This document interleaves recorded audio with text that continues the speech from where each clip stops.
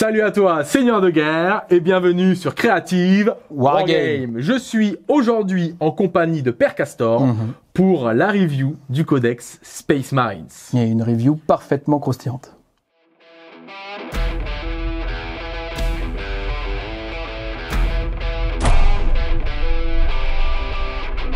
Cette review est la toute première de Creative Wargame. Pour l'occasion, le codex Space Marine s'imposait sur ce format-là. Vous allez voir apparaître à l'écran les différents chapitres euh, de cette vidéo-là avec les timelines respectives euh, qui vont vous permettre un petit peu de voir comment est découpée cette vidéo. À chaque review Creative Wargame, nous allons proposer à notre invité une thématique, une problématique à laquelle il devra répondre.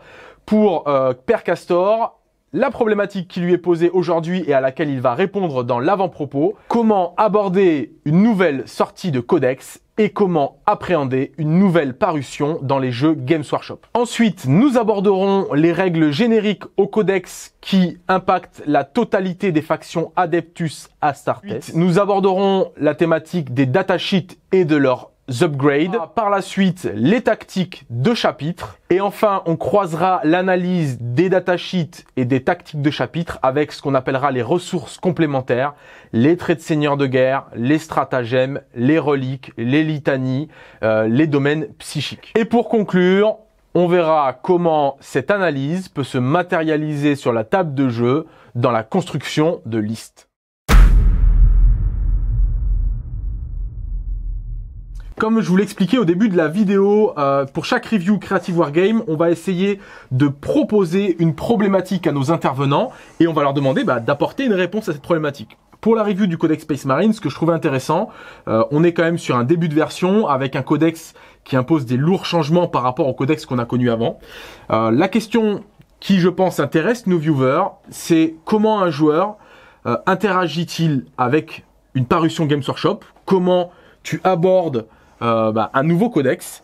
Et, euh, et comment, quelle est ta façon d'analyser euh, ce que nous propose l'éditeur de jeu Bon, mais moi, me- mon premier réflexe quand j'ai un codex entre les mains, euh, c'est directement le fluff, le Le fluff, le fluff. Je, évidemment, Il faut je commence d'abord par m'imprégner du sujet et de toute façon, c'est ce qui me relie à tout. euh. Oui. Est-ce que tu mets un cosplay Space Marine je m'habille en Space Marine, je me rêve Space Marine et derrière, je lis. Et c'est là que les idées viennent. Le mieux, d'ailleurs, c'est d'être alimenté en produits. Coupé. Coupé. Bon, évidemment, on, on commence par sauter toute la page de fluff euh, et on arrive directement au datasheet. Euh, les datasheets, donc les entrées de codex, euh, c'est quand même la base des ressources euh, de l'armée. Ouais. Donc je commence par lire euh, les datasheets et jouer au jeu des 7 erreurs parce que euh, qu'on soit nouveau joueur ou ancien joueur de ce codex, on a toujours en tête la précédente méta, la précé- les précédents usages. Euh, parce que les copains vont nous en avoir parlé. Euh, et donc, on, il faut qu'on regarde si en, en réalité ces méthodes-là, ces mécaniques-là sont toujours valables. Donc, on joue au jeu des 7 erreurs. On le fait avec un maximum d'humilité en se mettant dans la peau des... Ouais, l'humilité, c'est tout ce qui se passe à la campagne. D'accord. Voilà. Euh, donc, en se mettant dans la peau des, des auteurs, puisque Ouais. c'est pas juste des abrutis, c'est des mecs qui ont un peu pensé leur truc et qui ont des idées de synergie dès le début. Donc, quand on observe quelque chose d'étonnant ou qu'on comprend pas tout de suite ou qui est un changement, euh, il faut vraiment se mettre dans la peau de l'auteur pour se dire tiens pourquoi est-ce que pourquoi s'il a fait ça? Bon en tout cas il faut garder la question en tête pour le croiser avec les informations qui viendront ensuite donc les datasheets le jeu des 7 erreurs on identifie ce on se fait une conviction sur les différentes entrées euh, QG, Elite, euh, euh, Fast Attack, etc., de ce que l'on peut trouver fort intrinsèquement Ouais. dans les, dans les caractéristiques intrinsèques et les abilities intrinsèques de la datasheet. Ensuite, on le croise avec euh, la lecture des chapitres ou des factions, enfin, euh, suivant les codex, ça a des noms différents, mais des pouvoirs euh, de factions. Euh, à ce moment-là, normalement, peut-être qu'il y a des choses qui ring a bell un peu. Tiens, euh, cette affaire, euh, si elle est croisée avec euh, tel tel euh, tel chapitre, peut-être ça peut, en fait, ça peut peut-être devenir pété ou ce qui m'avait paru pourri, mais en fait qui croisait avec ce chapitre est fort. Mhm. Euh, et ensuite, euh, je le croise avec les, les, ce que tu as appelé les ressources complémentaires tout à l'heure, c'est-à-dire les stratagèmes, les, re- les, les ressources de traits de seigneur de guerre et les reliques. Et je le fais dans cet ordre la première fois. Euh, et bien sûr, il faut relire le livre plusieurs fois. Donc la deuxième fois que je le fais, je le fais dans l'autre ordre, c'est-à-dire je lis les chapitres et les stratagèmes, je regarde ce qui me paraît relevé de mécaniques de jeu qui me paraissent euh, robustes ou fortes, ou en tout cas euh, qui, qui vont commencer à me plaire dans la projection sur table. Et ensuite, quand je vais lire les datasheets, euh, je vais avoir une méthode de scan un petit peu différente. C'est-à-dire que je vais lire les datasheets en ayant en tête des mécaniques de jeu que j'aurais projetées par l'analyse croisée euh, des stratagèmes et des, des chapitres. Et euh, là, j'aurais peut-être une autre, une autre vision d'une datasheet qui m'avait paru commune ou Ouais, pourrie ouais, et qui là d'un coup euh, se révèle. Voilà. Donc euh, de toute façon, un, il faut se mettre dans la peau de l'auteur obligatoirement, avec humilité. Deux, il faut lire les datasheets puis les croiser au reste des ressources. Et il faut le faire dans l'autre ordre et il faut le faire plusieurs fois. Parce que même quand on a atteint un haut niveau dans un Ouais, codex, la relecture permet Ouais. de vraiment euh, trouver de nouvelles mécaniques. Même, je pense que de manière assez générale, les codex sont, euh, notamment le Space Marine, très complets. Mhm. Euh, Il y a beaucoup, beaucoup d'informations à digérer. Tu peux pas euh, le digérer d'une seule lecture. Donc, je suis assez d'accord là-dessus. Euh, moi, un point qui est assez important que je voulais mettre en avant, euh, notamment pour les plus jeunes joueurs, ceux qui euh, qui abordent un codex et qui se disent, waouh, il y a vraiment beaucoup de choses par par quel bout l'amener. On a tendance souvent à stigmatiser. Euh, une entrée ou stigmatiser un trait de seigneur de guerre ou stigmatiser euh, euh, une doctrine spécifique et je pense que vraiment il faut se il faut sortir de cette vision du jeu euh, puisque le, le jeu commence à être de plus en plus équilibré Et riche. de plus en plus lissé et de plus en plus riche donc euh, je trouve que cette méthode là de multilecture en intercroisant les Mhm. ressources paraît très pertinente Ouais. tu as donc répondu à notre problématique Ouais, la recherche Euh, du combo pété, euh, en se concentrant sur un truc qu'on a lu qui nous paraît, c'est c'est- c'est souvent euh, source de- d'erreur. Ouais, Mm, je suis assez d'accord. Euh, en tout cas, tu as répondu à la problématique. Mm. Ça, ça fait plaisir. Ben, merci. Déjà, belle, euh, belle performance. Euh, comment Là, c'est une problématique dans la problématique. Tu ne t'y attendais pas. Là, on est en freestyle total.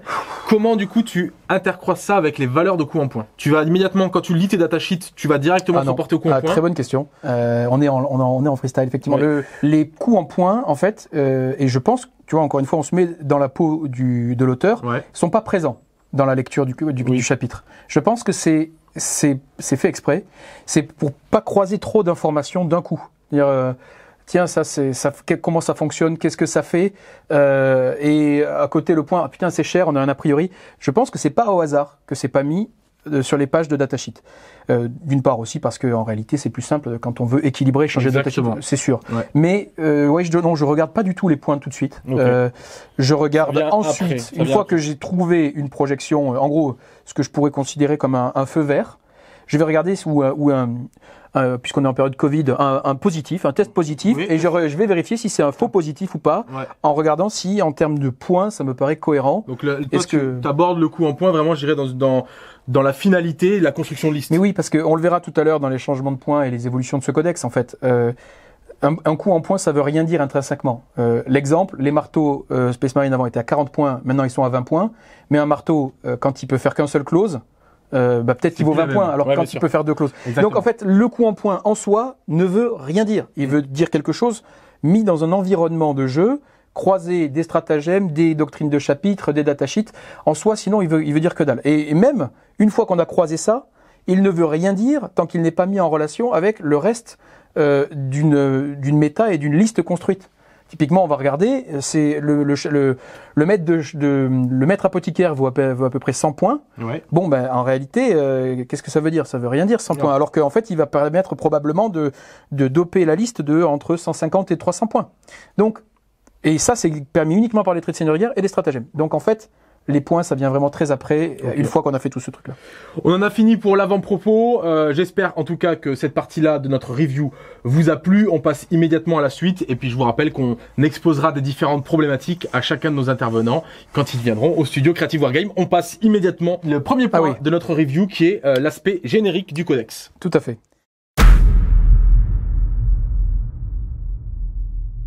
Comme à notre habitude, lorsqu'on aborde une review ou une analyse euh, d'une parution Games Workshop, euh, on prend systématiquement le temps de mettre en garde un petit peu notre auditoire, euh, à savoir que ça reste toujours une analyse euh, personnelle aussi, euh, qui est euh, du ressenti d'un joueur ou de plusieurs joueurs, mais ça reste nos ressentis. On, on prend aussi le temps de vous dire que c'est pas, euh, ça s'apparente pas à une science infuse ou à des propos euh, qui sont à prendre. euh, pour mot, le codex euh, a quelques jours à Mhm. peine. Ah oui. On ne l'a que pas, ou moi pour ma part, je l'ai pas testé. Toi, tu m'as dit que tu avais fait deux parties. Deux donc parties. en termes de playtest, on est quand même clairement léger. léger. C'est léger. Euh, donc voilà, on est, on est sur de la nouveauté. Le bouquin est super riche. Le bouquin est très riche et très agréable. Et effectivement, il faut, faut faire un peu gaffe euh, à pas avoir des propos trop péremptoires, ou en tout cas on en aura parce que c'est le sens de l'exercice. Oui. Mais ça sera à vous de le mettre un peu à distance. On se détend, on boit frais, Exactement. euh, et on regarde ça avec euh, avec euh, analyse et puis surtout en projetant ça dans le temps puisque cette vidéo sera, on est en octobre, euh, elle sera Elle probablement vocation, visualisée. euh, La vocation à rester. Voilà. Euh, premier point de notre euh, review, c'est les règles génériques. Quand on parle de règles génériques, c'est-à-dire que ça va s'appliquer à la totalité du codex. Là, ça va s'appliquer à la totalité du mot-clé Adeptus Astartes. On va pas prendre de temps pour vous expliquer le fonctionnement des mots-clés sur le jeu. Je vous invite à aller revoir les vidéos qui parlent des règles de manière générale. Euh, mais euh, là, c'est le mot-clé Adeptus Astartes qui va nous intéresser.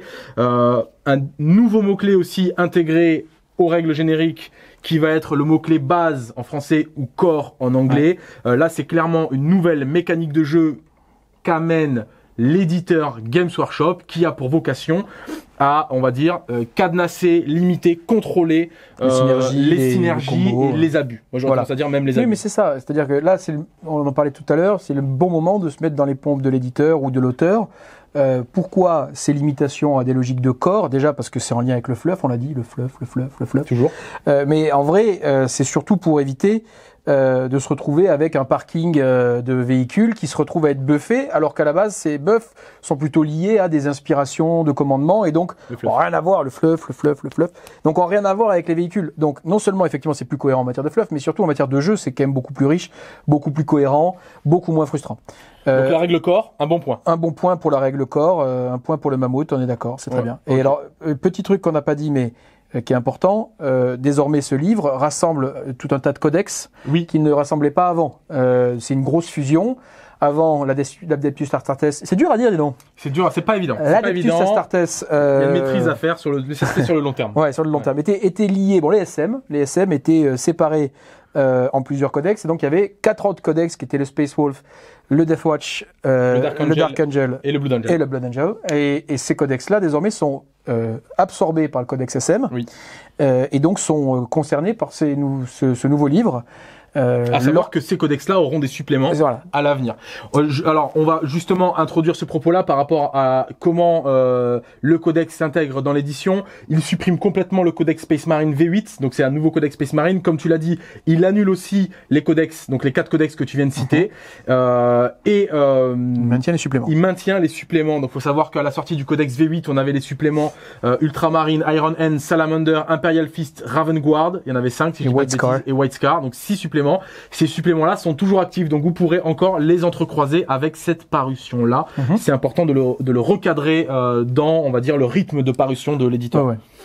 Donc, pour, le, Ouais. pour les règles corps, euh, on a dit, c'est Un nouveau mot-clé. un nouveau mot-clé, quelque chose d'assez euh, impactant dans le codex. Ensuite, pour le reste, euh, ça n'a pas beaucoup changé. Euh, Enfin, les- le reste des, des règles, Des règles génériques. génériques. Ouais. Les doctrines de combat euh, ont très peu changé. On parle des doctrines de Bolter, etc. Alors, les justement, doctrines de chapitre, on y reviendra après. Ouais, les doctrines. euh, alors, en ce qui concerne les doctrines, euh, faut savoir donc doctrine dévastateur, doctrine tactique, doctrine d'assaut, qui sont les trois doctrines que vous pouvez utiliser, employer pour buffer bah, vos, vos unités. Euh, ils ont remis à plat ce qui avait été faqué par rapport à l'ancien codex, c'est-à-dire que la doctrine dévastator, c'est au premier tour, la doctrine tactique, c'est au deuxième tour Et potentiellement ou au troisième. et ou au troisième, et ensuite doctrine d'assaut euh, au troisième euh, et, euh, et par la suite. entre- ouais, passer le quatrième tour, et dès le troisième si on le souhaite. Donc ça, c'est établi euh, et ça ne changera plus. Euh, ensuite, on a la règle assaut percutant qui est générique, qui consiste à dire que lorsque vous chargez, êtes chargé, faites une intervention héroïque, Plus une attaque. vous avez plus d'une attaque Mhm. pour la totalité de l'armée. Donc ça, ça fait plaisir. Mhm. La règle euh, discipline du bolter, elle, pour le coup, n'a pas changé. Il y a juste les unités qui vont en bénéficier qui ont changé. Donc toujours, bah, vous tirez à cadence maximale de votre tir rapide si vous n'avez pas bougé ou si vous êtes euh, un Terminator, Mhm. une Moto.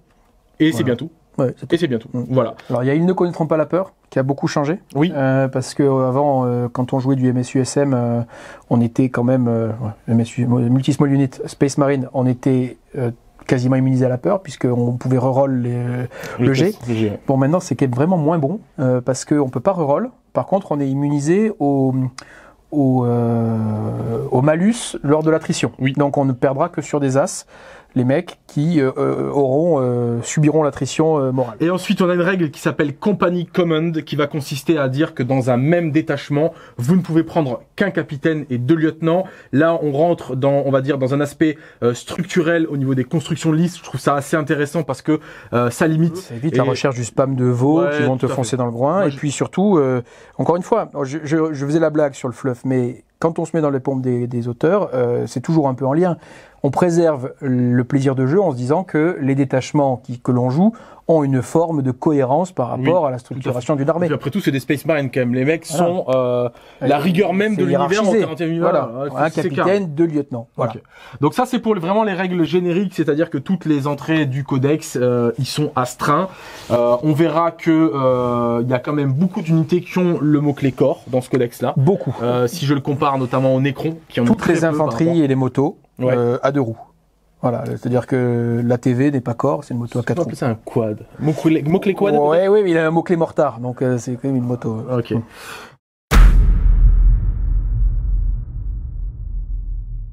Euh, les datasheets, on va garder comme plan d'exposition ta façon d'aborder le codex, puisque tu en as Mhm. parlé, tu nous as dit que toi tu commençais par prendre en compte le, les datasheets, Mhm. le, le cœur de cible, le cœur de métier, Euh, et du coup bah, on passe immédiatement là-dessus. On va pas faire un listing exhaustif de tout ce que vous allez trouver dans le codex.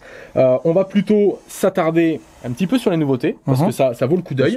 Et, euh, et puis euh, évidemment les upgrades de ces euh, de ces datasheets, c'est assez intéressant puisque euh, là pour le coup ça tronque complètement Psychic Awakening, Face and Fury, si je dis pas de bêtises, où on pouvait retrouver des stratagèmes euh, pour passer son apothicaire en chef apothicaire, euh, Ah ouais. pour passer son etc etc. Donc là maintenant le ça c'est fini. Vous êtes content d'avoir acheté le bouquin, nous aussi. Et ben euh, maintenant on se reporte à, aux pages subséquentes du codex et on a des upgrades 50. Directement dans le dans la parution. D'accord. Oui, en fait, oui, c'est euh, un des principaux changements. Donc, quand on parle euh, QG, on commence par là. QG et Elite. Euh, Jusqu'à présent, on avait des, des augmentations de, de qui étaient euh, que l'on payait en points de commandement. Euh, C'était quand même assez fort parce que d'une certaine manière, ça ça faisait pas des listes à 2000 points, mais ça faisait des, mille- des listes en équivalent 2100, 2200, 2300 points. Euh, ils ont voulu en finir avec ça et euh, passer euh, les les, ces datasheets, ces sauvegardes de datasheets directement dans la base de points. Donc on a euh, toujours les chapter masters, toujours les masters of sanctity, les maîtres de la forge, les maîtres euh, apothicaires, Ouais. euh, et puis ce que j'en ai oublié, euh, les maîtres, Les anciens, les champions, les Oui. champions de comp- les compagnies champions, etc. Sauf que maintenant euh, ils sont, ils ont des équivalents en augmentation de points Ouais. euh, qui vont de euh, seulement plus 15 pour le champion, le compagnie champion, à plus 40 pour le chapter master. Donc pour illustrer tes propos, vous devez payer dans votre liste un capitaine et lui payer ensuite l'upgrade pour qu'il Mhm. devienne maître de chapitre. Maître de chapitre. Et potentiellement, ça vous ouvre l'accès à euh, un trait de seigneur de guerre, à une relique. une relique. Et euh, ça C'est fait tout. plaisir. Euh, avant, il une avait règle spé. Il a, il a- une rè- il a une règle spé. spé, bien sûr. Et, accès à, et Et un accès voilà. Avant, il y avait deux reliques et deux traits de seigneur de guerre. À chaque fois, la plus pétée a été retirée. Ou des, il y en a des nouvelles. Oui. Euh, donc typiquement, le Master of Sanctity désormais ne rerolle pas ses prières, il les passe sur 2 plus avec Wise Orator, ce qui est un petit nerf, Oui. une petite réduction de 5 points de stats. Euh, il n'y a plus l'invue à 3 parce que, donc, encore une fois, euh, manifestement, les, les éditeurs et les auteurs veulent essayer de réduire la quantité d'invue à 3 disponibles dans les codex. Oui. Donc euh, là, effectivement, un, un Primaris à 7 PV, comme on va le voir dans, sur moto, en du 5, un vue à 3, ça, ça aurait été désagréable. Donc euh, ça y est plus. Euh, donc voilà, ça c'est le premier changement important sur les QG. Euh, et Elite, donc euh, on va les, on- je les aborderai quand on quand on passera sur sur ces QG, enfin sur ces entrées là. Donc les premières entrées qu'on regarde évidemment et qui sont dans l'ordre du, du livre, ce sont les QG. Alors on est sur un, un codex euh, quand on n'est pas habitué, ça surprend. hein. Moi j'étais joueur de Rukari, euh, j'avais à peu près autant d'entrées dans tout le codex qu'il y a d'entrées de QG euh, Oui, chez les. Quand t'es genre Drucari, à peu près tout te surprend, non Oui, voilà. Voilà. C'est-à-dire que là quand même euh, on a une page et demie, deux pages de De- de capitaine. ouais. Non, deux pages et demie, pardon. Deux Ouais. pages et demie de capitaine et à peu près de, deux pages de lieutenant. Donc on a, euh, c'est un codex extrêmement riche, on peut pas se plaindre. Euh, ceux qui se jouaient avant, euh, les capitaines, euh, Les Smash Captain. les Smash Captain en réacteur dorsal, euh, se joueront toujours, à mon avis, sont toujours très intéressants. Et en plus de ça, s'ils sont upgradés en, en Chapter Master, désormais, le trait de seigneur de Gaffal, pardon, la relique de Chapter Master donne plus un rendu, plus un save, donc du save à 2+, et euh, plus un PV. Donc en fait, on se retrouve avec un, un mec qui bouge de 12, qui est en du 5, comme une moto, save à 2 plus et 6 PV. Bon, donc euh, 7 si c'est un primaris même. ouais, mais les primaris, ça, Ah oui, pas d'assaut, ça n'existe pas. Donc effectivement, on peut aller chercher d'autres combos si on le, si on met ce trait de seigneur de ouais. guerre sur, euh, enfin cette relique, pardon, sur une moto. euh, on le verra ensuite euh, sur les sur les salamanders. On peut très vite monter une autre moto en du 8 moins un bless. Donc en fait, ce qui existait déjà avant dans les combinaisons euh, existera encore et, et peut faire l'objet de- d'améliorations avec cette nouvelle mécanique euh, de Chapter Master. Alors on notera sur le gros, euh, euh, le, le gros, la particularité de la datasheet de capitaine, c'est qu'il a une aura qui lui permet bah, de donner une relance des 1 pour toucher, qui devient une full relance euh, quand on est maître de chapitre, et surtout c'est que maintenant cette aura euh, ne s'applique que sur les unités corps, Oui. et on doit choisir une Alors. unité dans sa phase de commandement. Voilà, c'est-à-dire que la reroll des As, elle est euh, en aura, donc pour tout le monde, À six corps, pouces, ouais. à 6 pouces. Et quand on est Chapter Master, il y a un nouveau pouvoir supplémentaire en plus de la reroll des As en aura, qui est la full reroll. Mais ça, ça se donne en phase de commandement Ah, à une unité à 6 unité, pouces. ouais. Donc soit une unité corps ou caractère. Donc soit à lui-même s'il a envie d'aller tabasser euh, des mecs, ou à une autre unité.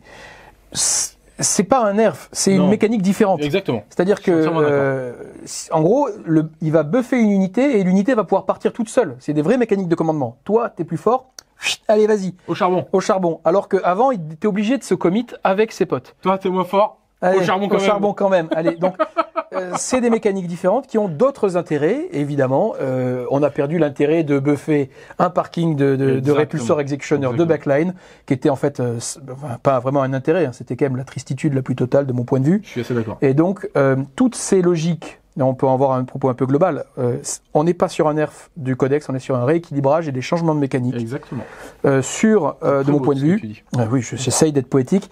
Et donc, toutes les logiques un peu, un peu low brain qui avaient tendance à frustrer vos adversaires quand vous jouez ISM, de euh, j'ai un parking en fond de cours qui est full reroll. Pourquoi la full reroll? Franchement, les autres codex ont un pouvoir psy, une full reroll sur un, un personnage, le guide, et tout le monde ne l'a pas. Là, euh, deux PC, full reroll à 6. Non mais, alors qu'on touche déjà à 3. Donc c'était pas sérieux. Euh, et pareil, euh, on, on le verra après dans les stratagèmes, les, les doubles clauses euh, d'un patron euh, qui partait comme ça, comme une fusée, et qui éclatait deux véhicules alors qu'il vaut 120 points, c'est fini. Plus de double clause. Donc faut jouer un peu plus intelligemment. Ouais. Donc pour les QG, bien sûr, tout, tout ce qui est sorti en Indomitus est, est repris là-dedans. Et donc on a, on a des... On va pas s'attarder. En réalité, Oui. les QG que qu'on connaissait euh, sont toujours là. Et euh, en dehors des, des mécaniques nouvelles du Chapter Master, les choses n'ont pas beaucoup changé. Euh, le nouveau QG que moi je trouve extrêmement fort, c'est le chaplain À moto. à moto. Ouais. Très très fort. Chaplain primaris d'ailleurs. Chaplain Primaris à moto, 7 PV, euh, qui va bouger donc de, de, de 20 euh, en, en ayant fait une advance. Ouais. Euh, de- oui, c'est ça, de 20. Euh, à 3. Euh, on peut lui mettre un- une relique ou un trait de seigneur de guerre euh, qui annule les rerolls. Moi, je trouve pas ça incroyable. Mais surtout, en fait, il va aller pouvoir poser ses bulles où il veut, ses bulles d'aura, parce que pour le coup, elle, les litanies, ne souffrent pas des limitations euh, Des keywords. des. Voilà, c'est-à-dire que la full reroll euh, des touches au close, c'est vraiment une aura. C'est Ouais. pas. euh, Je suis assez d'accord. Le, le- je pense que le chaplain à moto, euh, c'est une figurine que vous allez euh, voir de manière récurrente dans les constructions de listes. Euh, et, et je pense à tout chapitre euh, confondu, Oui. parce qu'on voit vite que euh, qu'on peut le très bien l'insérer dans du Space Wolf, dans du White Scar, ou même dans du Dark Angel. Ça, ça passe très très bien. c'est très très fort. Donc, Très très très belle unité le, le chaplain et on peut euh, comme tu l'as dit tout à l'heure euh, via quelques petits euh, ajustements euh, notamment sur le, faire, le fait de le faire passer en maître sanctifié. On peut en faire sur certains chapitres notamment en Salamanders un, un vrai vrai monstre de, de résistance et de corps à corps. Donc voilà. Après ça a tendance à souvent mettre tous les œufs dans le même panier. C'est pas forcément ce que le jeu nous propose en termes de mécanique globale mais c'est toujours un petit truc un petit truc à avoir à savoir surtout quand vous êtes amené à affronter ce genre d'unité. Le fluff, le fluff, le voilà, fluff. le fluff. Ce qui est intéressant à dire, c'est que le, le- pareil, les logiques qui auraient pu être euh, euh, toujours low brain de le parking à l'arrière et le plus en hit euh, pour les véhicules euh, en aura, qui était l'ancien pouvoir du Maître euh, des maître forges. des forges, Ouais. c'est fini. Voilà. Donc d'une manière générale, tout ce qui était combo, pété et facile, Oui. c'est fini On passe aux troupes? Aux troupes. Donc dans les troupes, il y a des nouveautés. Déjà, les scouts sortent des troupes, ça devient des élites.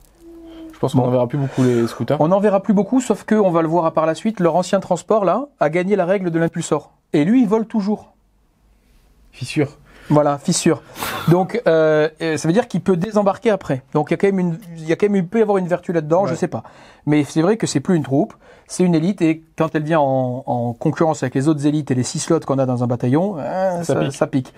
Euh, On retrouve les intercessions squad qui n'ont pas bougé, globalement. qui n'ont pas bougé. Euh, ou, ou que très non, peu. non, mais, non, ils euh, auront bougé dans les stratagèmes, mais elles n'ont ouais. pas bougé là.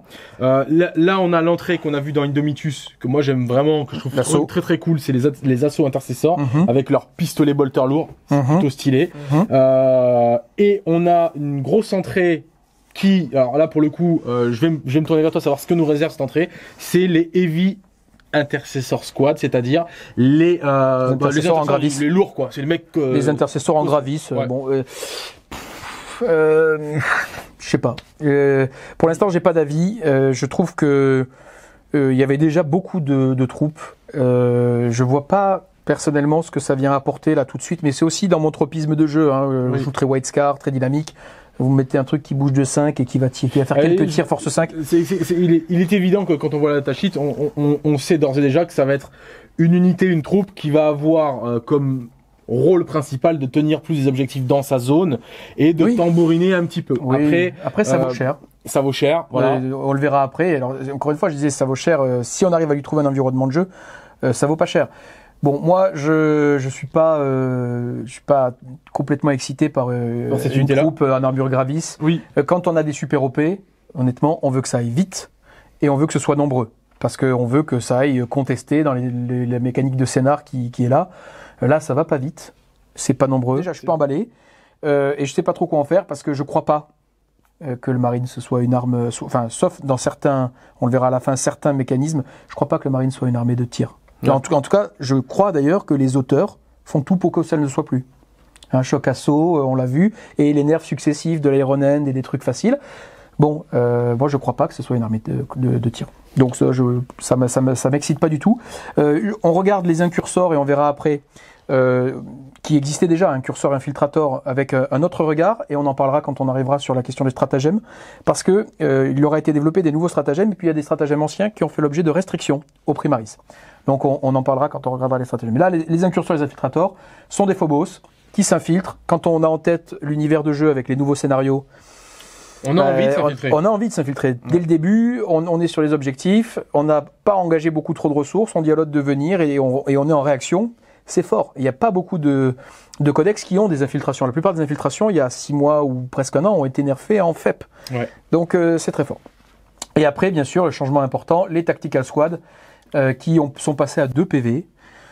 Euh, euh, Est-ce que pour autant on les reverra euh, je- c'est possible. C'est possible. On- dans une logique un peu ouvre-boîte et multitask. Il faut pas, le- faut pas, euh, faut pas jeter le truc.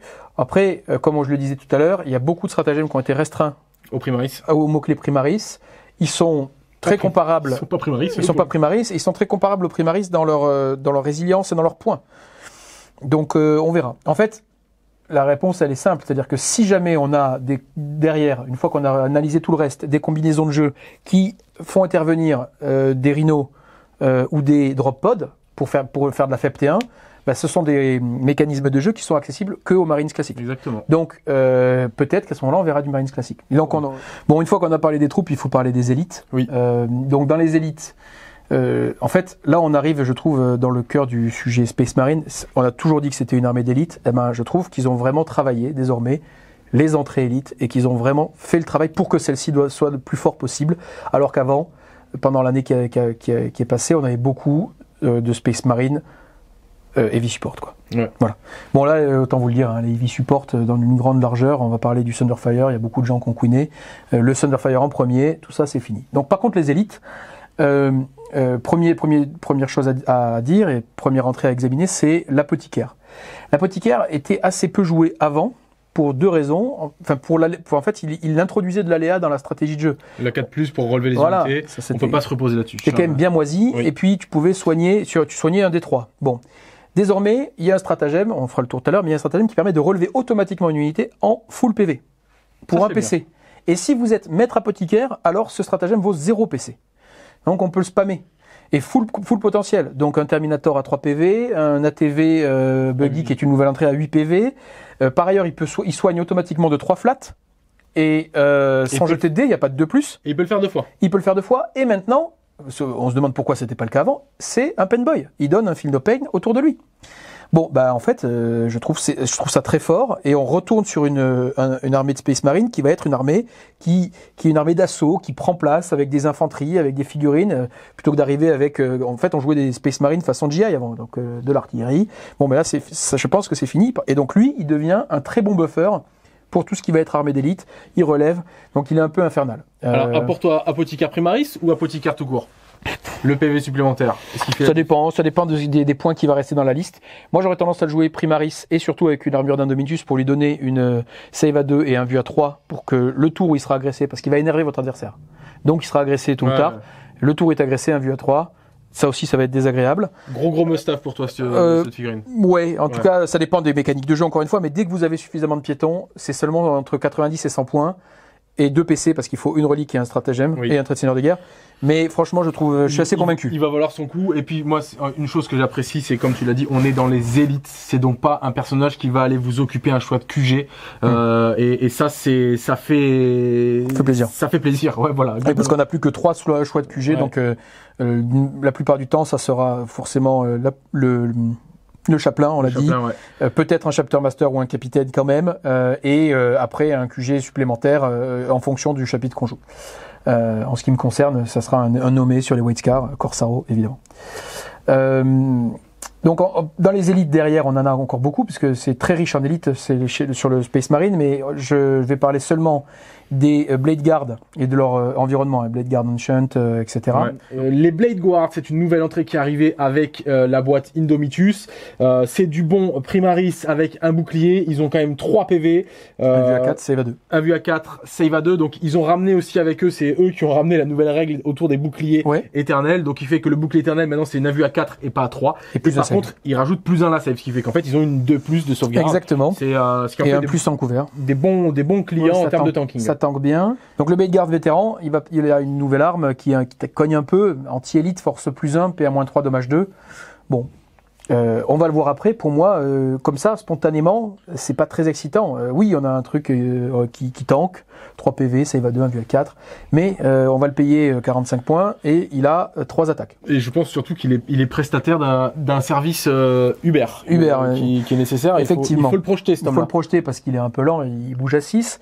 Et bon, la nouveauté, c'est que par contre, maintenant, on peut les jouer par 6 et pas par 3. Quand ils sont sortis en Indomitus, on pouvait les jouer par 3. Donc, euh, il y a quelque chose d'intéressant, mais euh, on, en, on en reparlera tout à l'heure. Il faut lui trouver un environnement parce que tout seul, là, comme ça, moi, je trouve pas que la datasheet soit pétée. Oui. Il y a des environnements dans lesquels elle est, elle est intéressante de mon point de vue.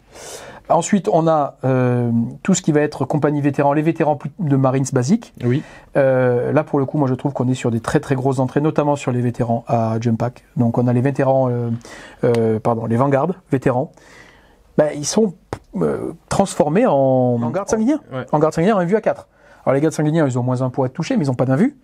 Là, en fait, comme on peut les équiper de boucliers ils n'ont pas été augmentés en prix par rapport à avant, ils ont juste pris un PV. Donc, ils sont à 2 PV désormais. Donc, ils partent plus à la statue parce qu'ils ont 2 plus de sauvegarde, un vue à 4, 2 PV. Donc, comme ils partent plus à la statue, ben, on va être euh, encouragé à les équiper. Donc, je sais pas si vous vous souvenez, mais cette datasheet, elle pouvait être équipée de n'importe quoi. Des griffes, des épées, des marteaux, euh, toutes les armes marines qui existent euh, de corps à corps, ils les avaient. Bon, ben, on le faisait pas parce que c'était trop cher d'équiper un châssis avec un PV, là, un bonhomme qui partait euh, avec euh, des, des bolteurs de rhino. C'était infernal. Ben là, là, on le fait. Et en plus de ça, les prix des armes ont baissé. C'est-à-dire qu'une épée ou une griffe, c'est 3 points désormais. Et la griffe a été up. Plus une attaque. Donc, euh, vous mettez, euh, une escouade de 10, vous payez 30 points, ils sont tous équipés en griffe. PA-2, reroll les wounds natifs.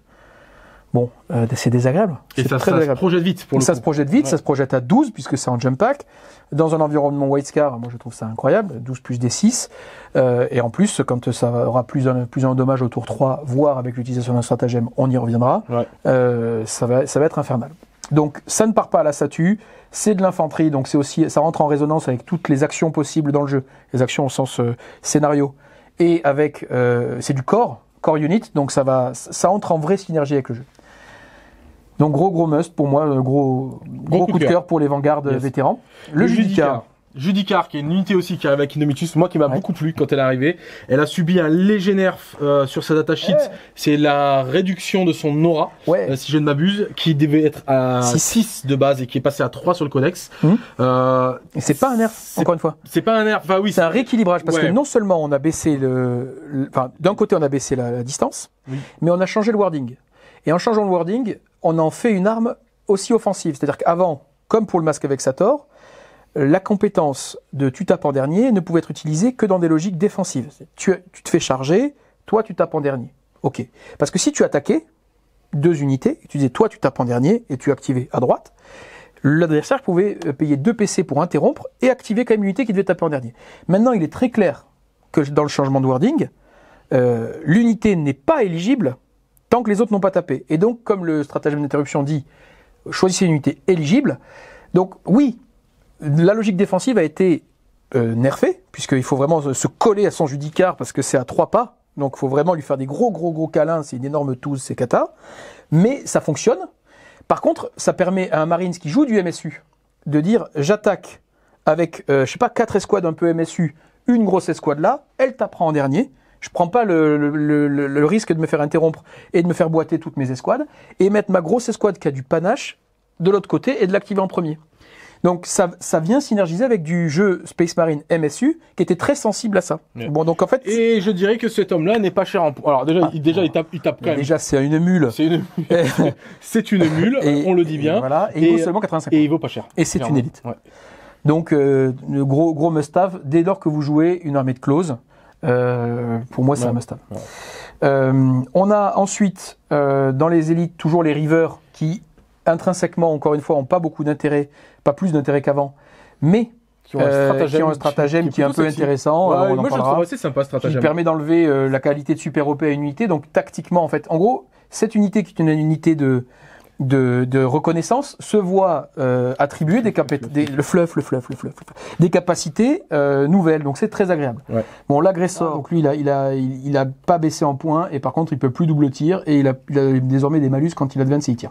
Bon, c'est, Donc, pour lui, rend c'est- beaucoup moins sexy que ce qu'il Euh, n'était euh, voilà. précédemment. Mais encore une fois, euh, on, a, on, a, on a up les, les armes, C'était c'est passé à 12, c'était nécessaire. Le double tir, euh, Ouais. enfin, en Salamander, ça serait devenu infernal. Bon, euh, donc euh, voilà. Euh, ensuite, on a le Terminator. Alors là, euh, moi, je suis amoureux. Oui. Parce que, euh, Je pense qu'on va en voir beaucoup des Terminators. bah déjà, c'est une unité qui a, qui a quand même beaucoup de swag, moi je trouve, et qui était plus jouée. Parce que euh, Oui. cher, parce que Ouais, quand tu la mettais en comparaison avec d'autres unités Space Marine, Voilà. tu, tu dis toujours, mais je ne veux pas de ce Terminator. Ah, c'est bon, on n'en veut pas. Maintenant, deux choses. Ils sont passés à 3 PV, Ça, c'est très bien. c'est très, oui, c'est très bien, mais, ouais. mais je trouve ils- ils- le, le- le- le- le plus fort up, c'est que désormais ils ont deux FEP. C'est-à-dire qu'avant, le home téléporteur balise, là, c'était un truc très très euh, épisodique ou très très situationnel. C'est-à-dire que vous mettiez une balise dans votre camp, et puis si l'adversaire avait la, la gentillesse de ne jamais l'approcher à neuf, elle restait, et vous aviez la possibilité de vous TP et de rentrer chez maman. Bon, mais maintenant c'est plus ça. La balise, ça permet de retourner dans les ombres avec une unité à 300 points, hein, et de revenir refaire une FEP le tour d'après. Mm.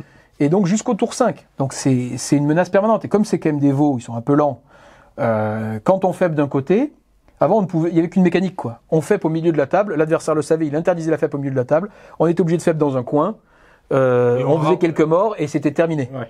Bon, maintenant c'est plus du tout le cas. Et je trouve ça très agréable. Pareil, euh, les armes ont fait l'objet de quelques changements, euh, puisqu'ils peuvent être équipés, euh, les points tronçonneurs sont passés à 2 match 3 flat quand ils sont sur des véhicules.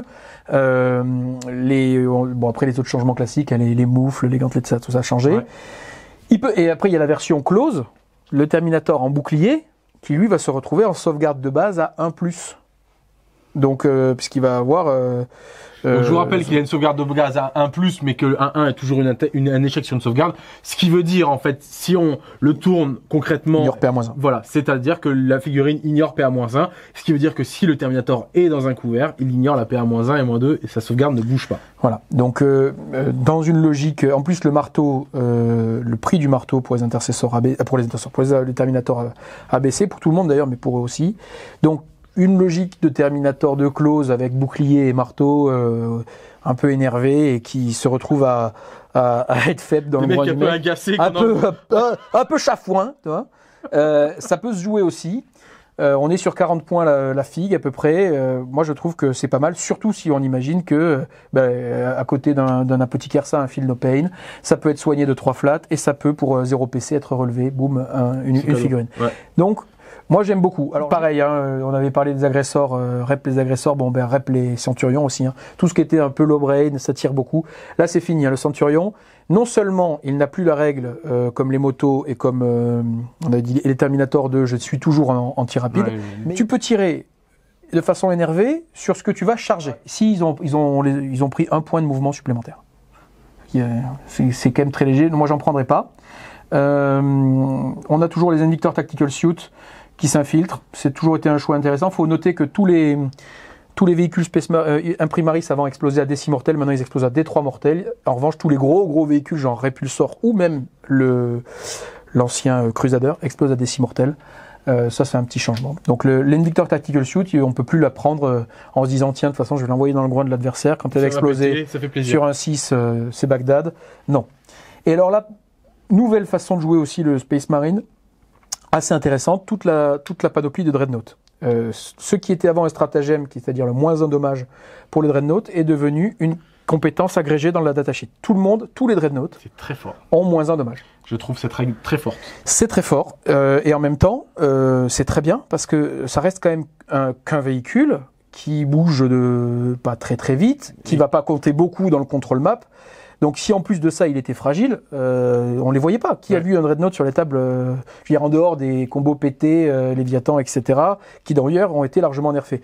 Personne n'a vu un Dreadnought normal sur les tables depuis 1000 ans. Donc là, ça peut revenir, d'autant qu'il y a un autre stratagème euh, que je trouve très très intéressant, qui fait que on peut s'affranchir dans un détachement de lieutenant et de capitaine si on a envie de spammer d'autres euh, slots de QG, en faisant en sorte que les, les, les dreadnoughts soient des relais de reroll des as et de wound pour un PC par tour.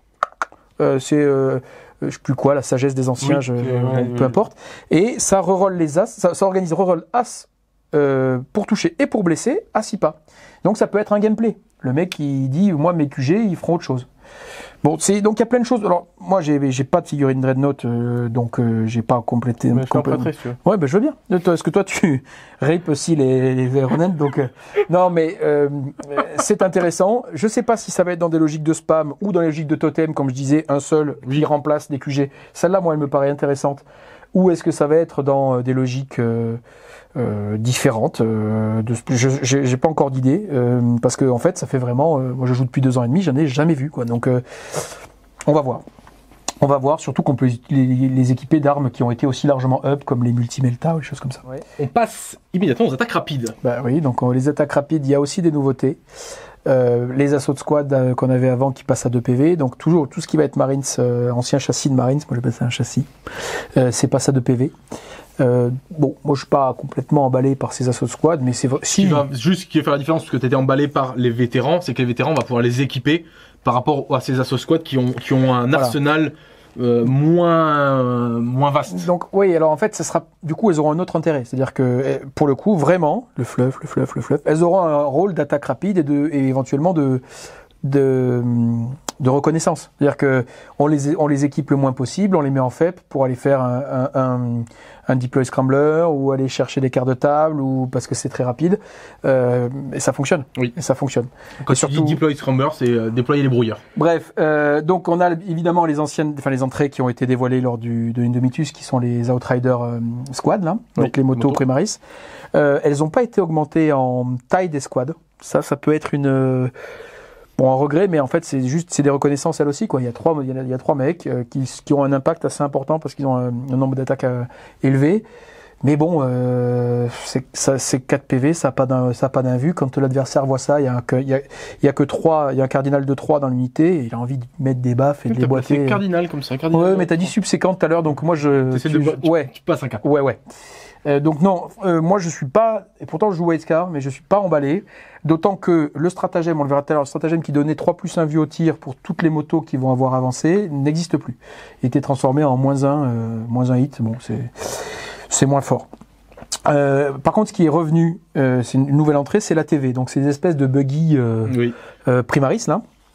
Et ça, je trouve ça intéressant. C'est-à-dire que je trouve pas ça pété. Il y a eu beaucoup de gens qui ont fait des commentaires pour dire qu'ils trouvaient ça pété.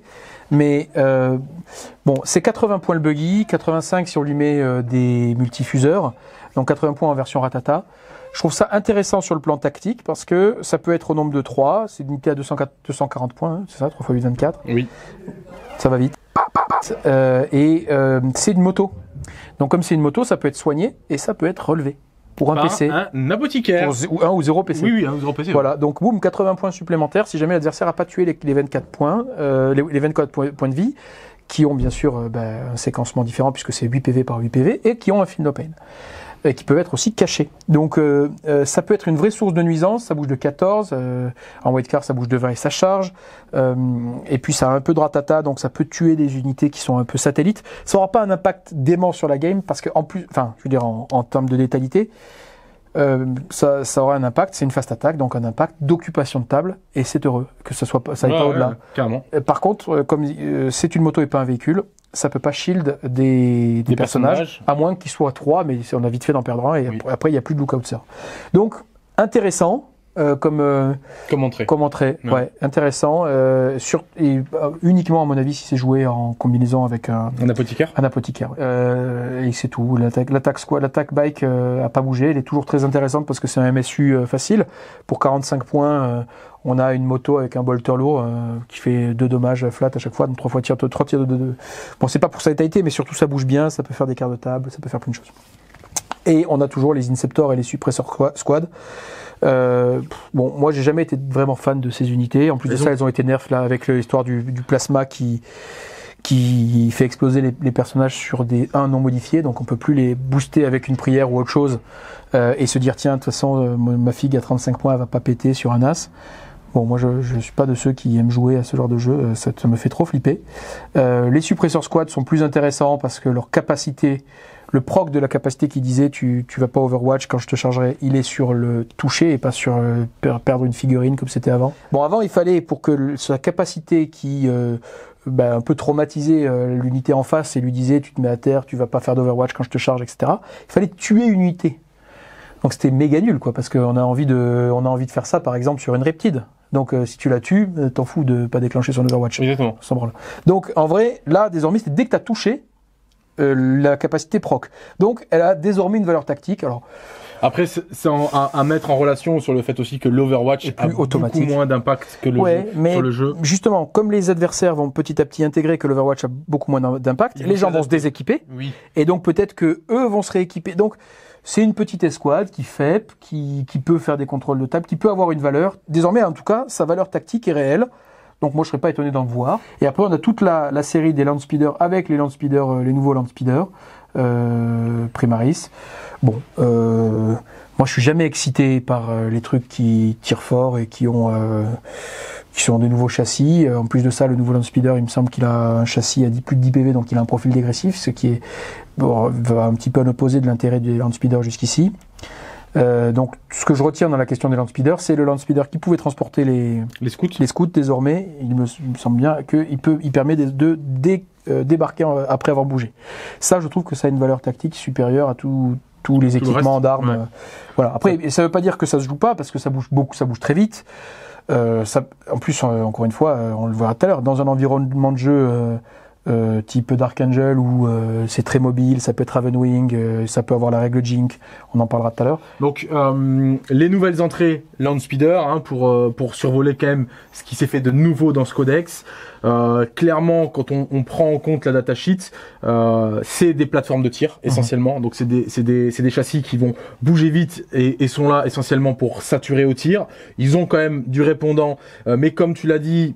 Il y a euh, notamment le Storm Speeder Hellstrike euh, qui a un profil dégressif, donc potentiellement qui va commencer à être de moins en moins fort au fur et à mesure qu'il prend des PV. C'est des châssis qui sont pas excessivement résistants et forcément on va de suite euh, les projeter dans leur utilisation sur table et c'est vrai qu'ils ils pourront avoir du caractère et de l'intérêt de jeu avec les Dark Angel puisqu'ils bénéficieront du mot-clé Ravenwing.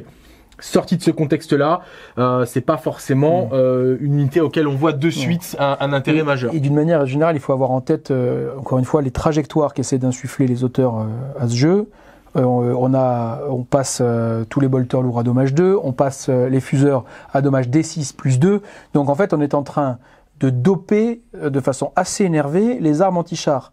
Euh, vous n'avez pas une vue, euh, un truc comme ça là, à 10 PV, euh, ça, part vite. ça croustille. Hein, euh, on arrive avec un, Ça eh oui, euh, tu arrives avec une pauvre moto à 45 points qu'un multifuseur, euh, boum, deux tirs. Si c'est un peu fiabilisé ou avec une reroll, bah, les deux blessent, euh, deux fois des 6 plus 2. Bon, bah, c'est mort, c'est, c'est explose immédiatement. Donc, bon, moi, je suis, euh, quand je vois cette méta qui s'organise vers des, de l'anti-char énervé, enfin, je sais pas si c'est la méta, mais en tout cas, les armes, on, donne des ressources aux gens pour s'aider.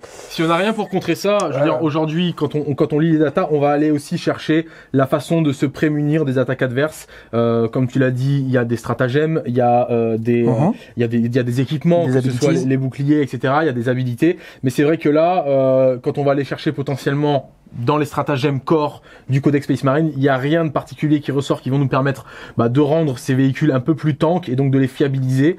Euh, donc du coup, bah, on, on, on leur trouve pas de suite une synergie. On verra par la suite sur euh, bah, sur ce que vous aussi vous allez pouvoir proposer en termes de liste et comment la méta va s'installer, comment ils vont être joués. Mais là de suite, il n'y a pas un intérêt majeur euh, sur les land speeders, à part comme tu l'as dit, le fameux land speeder qui va transporter des scouts et va leur permettre bah, permettre de vraiment balancer. Euh, Ou alors jouer en vue à 4, euh, Oui, voilà, voilà, au tir, euh, la Ravenwing, euh, voilà. Il faut, il faut jamais avoir de, enfin, prendre nos propos de façon trop absolue. Il y a toujours des environnements de jeu dans lesquels tout ça peut se jouer. Mais là, spontanément, quand même, euh, faut avoir des bonnes raisons de prendre un véhicule qui a pas soit un moins un au dommage ou une invue un peu sérieuse, parce que sinon en face, et puis ça compte des points dans les scénarios. Donc Et tout pour- ça se- se- se- s'intègre. Pour faire la comparaison avec ce que tu disais, notamment euh, deux nouveautés que sont l'ATV et le Land Speeder. L'ATV a pour lui le mot-clé biker où on va pouvoir le comboter avec l'apothicaire et potentiellement relever des châssis. Et avec la transhuman Et, la- résilience. et avec la transhumance résilience que n'a pas forcément euh, Voilà. le, le- le- Et il a pas de profil dégressif. Storm, Storm. Voilà, donc euh, bon. En tout cas, euh, pour les, on arrive au bout des, des, des fast. Euh, on arrive dans la partie que, que j'affectionne le moins parce que je pense que c'est pas euh, Vers ce ce, ce vers quoi tend, le- codex et, oui, et ce vers quoi tend les auteurs, enfin tendent les auteurs, c'est le, le heavy support. En fait, on arrive, je trouve, dans cette, euh, dans cette section, enfin à quelque chose qui ressemble à son nom. Un support, un support lourd, ça doit être un support de jeu, donc euh, euh, de l'artillerie, des choses comme ça, mais qui ça peut pas faire le jeu. En tout cas, avant ça faisait le jeu, ça avait pas de sens. Maintenant, ça, maintenant ça vient en, supplément, appui du ouais, jeu. en appui, donc euh, moi ça me convient parfaitement. Euh, les Hellblasters euh, sont toujours là et désormais euh, moi je trouve qu'ils sont euh, euh, moins moins bons hein, puisque tout, tout, tout ce qui est logique de, de plasma a été nerf par Par le fait que tu, tu exploses de vrai pour de vrai, voilà. pour de vrai. Donc c'est donc ça c'est quand même gênant. Les éliminators, donc on disait tout à l'heure tout ce qui est trop facile a été supprimé. Le, le sniper lossless, donc sans ligne de vue, bon bah c'est fini. hein. Ça n'existe plus. Ça n'existe plus. Euh, donc ils sont ils sont Ils sont bien, mais ils sont pas auto-include. c'est euh, que les scénarios désormais se jouent avec des objectifs fixes et en général euh, assez visibles. Donc c'est quand même des snipers assez énervés qui font des dommages un peu multiples et qui ont des bonus pour blesser. Donc de ce point de vue-là, euh, en gros, euh, il y, a, il y a des nouvelles mécaniques, euh, des nouvelles synergies avec les scénarios. Euh, donc bon, moi j'ai pas de j'ai pas d'app- d'appétence particulière pour cette datasheet. Euh, euh, juste, je voulais signaler qu'elle avait été euh, refondue. Quoi. Refondue.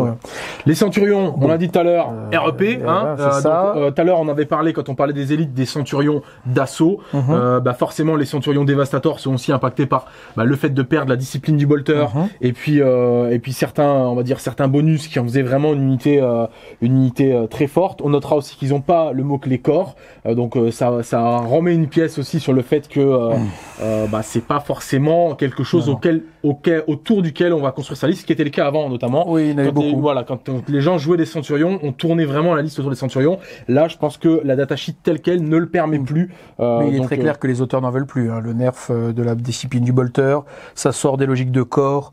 C'est une infanterie, mais qui n'a pas corps. C'est la seule d'ailleurs. Mm. Euh, bon, euh, ça avait des graves canons, ça en a toujours, mais le stratagème de full reroll des, des wounds et des blesses a disparu. Donc, bon, euh, eux, ils sont, euh, ils, Ils sont un peu à la ramasse, un peu, un peu derrière. Ouais. Et là, on arrive sur la nouvelle entrée qui est les Eradicators. Oui. Qui a fait quand même pas mal couler d'encre parce Oui. que euh, les gens se disent assez Putain, létal, c'est très létal. fort. Ouais, c'est létal. Bon, c'est vrai que c'est létal. Après, ça coûte cher. Euh, et puis ça c'est fait quoi 40 points, c'est pas non plus. Non, c'est vrai que si tu veux les jouer par 6, ça va, tu, tu vas sortir tes 200, euh, 240 points. Non, 200, ouais, si, Oui, c'est 240 200, points. entre 240 et 280 comment tu les équipes. Après, moi j'aimerais bien vous faire un rétexte de ça, mais je les ai joués une fois et ils sont morts T1 et j'ai pas eu le T1, donc euh, bon, je les ai assez mal joués aussi. Mais ça veut quand même dire que euh, l'adversaire a de la ressource pour les sortir terrain. En vrai, c'est des armures gravis, donc ça a 3 PV, ça a accès à un certain nombre de stratagèmes qui permettent d'améliorer un peu la résilience, on verra tout à l'heure. Mais euh, au bout du bout, ça fait au maximum 16 tirs. 280 points, 16 tirs de fuseur à 24 pas. Alors c'est sûr que t'infuses passible. Elle est Ah, dissous, étalée, et- la figurine fonce sur place. Si, si, si, c'est une cible unique. Oui, Parce voilà. que mettons que tu décides de tirer Voilà, sur des paladins, sûr. euh, si t'en tues deux, t'es content. Ouais, bien sûr. Et puis, c'est une infanterie qui tire avec de l'arme lourde.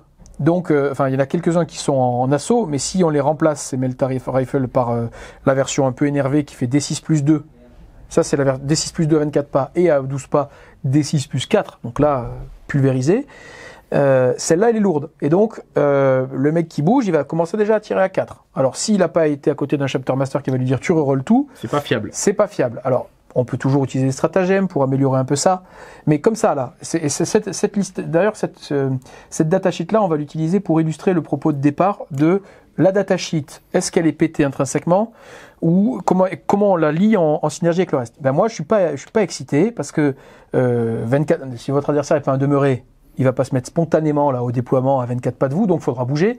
Donc Ceci étant, ça, ça, ça peut être une force aussi de l'unité. d'interdire. Ça va créer une zone d'interdiction. Bien sûr. Voilà. Mais ce que je veux dire, c'est que l'interdiction, euh, elle existe euh, euh, à 30 pas, 24 plus 6, mais euh, dès lors qu'on bouge, on va faire 16 tirs à 4 plus, euh, sauf, euh, sauf fiabilisation, reroll, etc. Donc ça va faire 8 touches. Ouais, On va pas- blesser, euh, si on a des cibles un peu sérieuses, parce qu'on va pas tirer dans la garde impériale, on va normalement blesser à 3 plus, donc on va faire 5 blesses. Si on tire sur une invue, euh, on, On va faire on 3, ricoche. voilà, on ricoche un peu, donc euh, une invue à 5 plus par exemple, on va en faire 3 non, non sauvegardés, 3 des 6 pour 280. Bon, Moi, je pense très sincèrement que, alors, l'unité, je pense l'unité semble assez intéressante Oui. sur, son, sur sa data elle-même. Euh, et là où on aurait pu interagir sur les propos, mais ça fera l'objet de ce qu'on abordera sur une prochaine review, c'est notamment la méta. Parce que pour le coup, comme tu l'as dit, il y a beaucoup d'armes qui commencent à tambouriner lourd sur les véhicules, euh, ce qui potentiellement peut amener vos adversaires à se soustraire un peu des constructions lisses qui tournent beaucoup autour des châssis. Pour le coup, ça va être une unité ou, ou une datasheet ou enfin une entrée euh, qui va être utilisée probablement comme un, un contre sur certaines listes. Plus, Oui. c'est plus comme Alors, ça que je, je le vois. parle- sur alors- la façon de l'intégrer dans une Ouais. méta générique. Ça, c'est que- pour la méta. Mais même, je te parle juste de l'intégrer dans les chapitres. Tu vois, par exemple, on, on disclosons-le un peu là tout de suite. Euh, euh, le jouer en ultramarine ou le jouer, euh, je sais pas moi, en white scar. Et pourtant, en white scar, un PC, ça devient de l'assaut. Donc, je peux même advance et tirer sans malus. C'est pas mal, mais c'est pas incroyable. Oui. Euh, alors que tu le joues en Dark Angel, tu bouges. Euh, tu as une invue à 4, puisque autour d'Azrael, Azrael donne une invue à 4. Donc déjà, tes mecs, parce que sinon ils tombent, tes mecs ont une invue à 4. Tu payes 2 PC, c'est un stratagème qui dit si tu as fait un mouvement normal, on considère que tu n'as pas bougé. Bon, donc tu retouches à 3 plus. T'es Dark Angel, ta doctrine, quand t'as pas bougé, plus un touche. Donc là, ben, Tu touches à deux. tu touches à 2. Ça commence à être. Reroll les as, puisque tu dois avoir un capitaine Azrael à côté. Donc là, tu touches à 2 reroll les as pour 2 PC et t'es invue à 4. Là, là, on cause. Alors, je suis d'accord, sauf que là, en gros, se sert, on illustre les propos avec ce qui me semble être de tout ce que nous proposent les Marines, potentiellement un des meilleurs choix, c'est les Dark Angel, parce que je trouve Mhm. qu'ils sont vraiment très bons. Et pour le coup, euh, effectivement, ça synergise bien avec quelque chose qui me semble assez fort déjà de, de manière Oui, générale. alors avec les Dark Angel, alors après on parlera de l'invue à 4 d'Azrael, qui à mon avis est un, sera refaqué, mais un- un- un- indépendamment de ça, euh, on- dans les Dark Angel ça a du sens, Oui. et de suite ça touche à 2 plus, ça on cause, mais aussi dans les Salamanders. Si dans les Salamanders, euh, euh, le mec, il re- tu, tu- tu lui dis, bah, tu rerolles tout, ou tu es à côté de Vulcan qui dit, euh, bah, full reroll des wounds et des, et des touches en aura sur tout ce qui est arme à fusion, euh, t'es content. T'as même, même pas besoin de payer ton, ton, ton 2 PC pour dire j'ai été immobile. Oui. Parce que 4 plus full reroll ça fonctionne. Et puis surtout derrière, comme t'as plus un bless sur les armes à fusion euh, dans la, dans les, chez les, Chez les Salamanders. tu vas blesser sur 2 plus. Donc tu vas avoir une vraie fiabilisation euh, de tes armes. Donc là, ok. Là, en fait, dans cet environnement-là, je veux bien payer 280 points. Et puis en plus, chez les Salamanders, tu peux la shield avec, euh, avec une autre unité d'infanterie qui va dire, il faudra d'abord me péter la gueule avant de péter la gueule à mes potes derrière qui veulent 280 points. Qui est une solution, comme on en parlait, d'amener de la résilience sur les unités, comment Voilà. on va le chercher, les Mais- invus, les Mais strats. les- intrinsèquement, Ouais. la data, la datasheet me paraît moyenne. Euh, et il y a des univers de jeu qu'on a évoqués là, dans lesquels elle peut avoir un vrai sens, voire même une, une, une hyper robustesse, parce que euh, on peut la faire FEP, de suite ça va très vite. Voilà. Donc euh, euh, ensuite on arrive à la Devastator Squad. Qui a gagné un PV, elle aussi. qui a gagné un PV et puis qui a gagné le up du, du multifuseur parce qu'on peut euh, équiper 5 mecs de multifuseur, donc 5 mecs qui tombent en... Ouais, 4, mais pardon, tu as raison, mais, Mais tu mets comme tu peux mettre le chérubin. Ouais, ok. Donc en fait, euh, tu, tu peux imaginer un drop pod euh, T1 qui arrive et euh, qui te fait 20 tirs de multifuseur parce qu'elle a 2 x 5. Mm. Euh, bon, ça peut, tu- ça peut jouer. Alors après, c'est le même prix, euh, à 2 ou 3 points près qu'un Eradicator. Donc ça a un PV de moins et c'est pas une armure gravis, mais ça peut rentrer dans Et- un impulsor. clairement, un- ça va un être pod. une unité dans, dans un pod, le pod dévastateur multifuseur, ça va être euh, l'unité one shot. On va pas se mentir. Cette Voilà. unité, elle arrive, elle a un truc à détruire, elle le détruit. Et moi, c'est souvent ça. J'ai un petit peu de mal Mm. avec ce genre d'unité-là. Euh, c'est les unités one shot, c'est-à-dire que le moment où elle arrive et elle fait pas sa cible, Ouais, bon, bah, il y a frustration. Et puis on, y a on PLS. livre, on livre le, le Et- plan à, oui, au jet de dés, quoi. Oui, voilà, ouais, ouais, voilà. Et, et- et voilà. Donc, euh, moi, c'est la Devastator Squad, c'est une unité qui est assez, que je trouve assez charismatique dans l'univers euh, Space Marine parce que bah, c'est les Marines qui ont des gros flingues. Donc voilà, moi j'aimais bien les jouer en, en Iron Hands parce que tu bénéficiais de la doctrine Devastator Mhm. avec la reroll des As. T'étais considéré comme n'ayant pas bougé. D'ailleurs, tu l'es toujours. Hein, c'est le, le supplément est toujours en action. Donc t'es considéré comme n'ayant pas bougé avec les armes lourdes. Donc il y avait moyen de les, fa- les fiabiliser en T1. On a vraiment le pod qui tombe T1 et ça Et va boum. laver un truc. Euh, après, passer ce cap tactique là, j'ai du mal à, Non. voir comment comment on les équipe. Ouais. Aujourd'hui, les mettre en full bolter lourd, euh, postés dans un couvert, en train de rafaler pendant toute la partie, je suis pas sûr que ce soit très pertinent. Euh, on notera quand même qu'ils ont gagné un PV et euh, et puis bah qu'il reste euh, ce qu'on en attend d'eux quoi. C'est une unité qui va qui va one shot un truc et euh, Après, et si ton adversaire a, a pas beaucoup de PA, euh, dans un couvert en save à 2 plus 2 PV, euh, ouais, ça peut être une Oui. plateforme de tir. Pas, ça peut, ça se discute, voilà. Ça se discute. Moi, je suis pas un fan absolu, mais ça se discute. Euh, faudra regarder la méta. Ouais. Après, on a la, la blague. la blague. Bon, euh, là, euh, son compte est bon.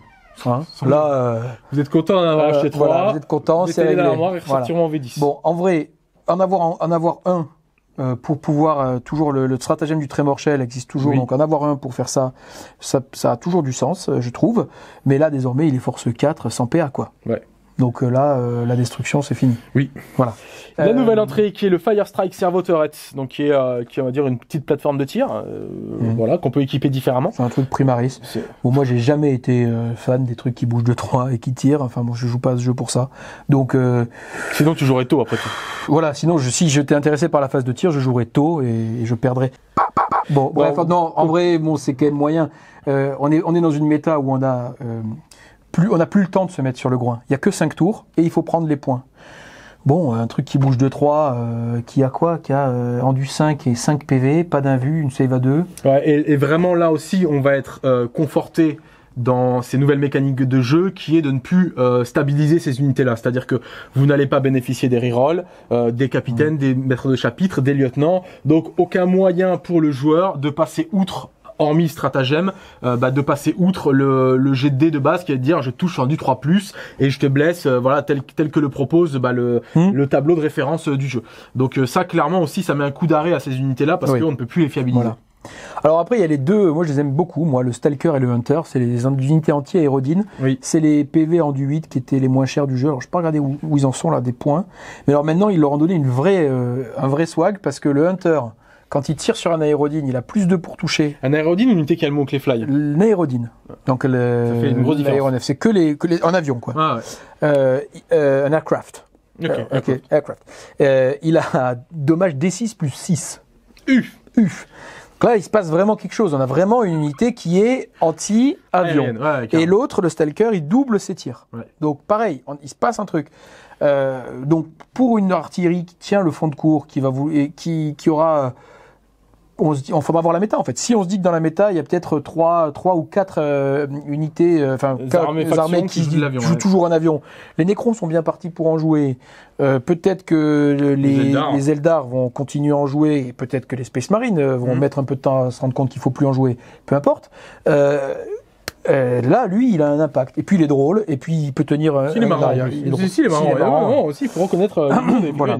Ensuite, on a le Whirlwind, euh, qui est vraiment pas inintéressant parce que il a un stratagème associé qui permet de dire toi tu, tu, tu charges, enfin tu Overwatch plus et tu ne peux plus défendre de ruine. Donc euh, bon, ça peut être un- pour le, encore là voilà, Heavy supporte le fluff, le fluff, le fluff. Là, et pour le coup, il a un rôle de d'artilleur qui Voilà. tambourine des positions. il tambourine des positions, il, il a un appui sur ce qui va se passer sur le terrain de jeu et il va pas te déboîter.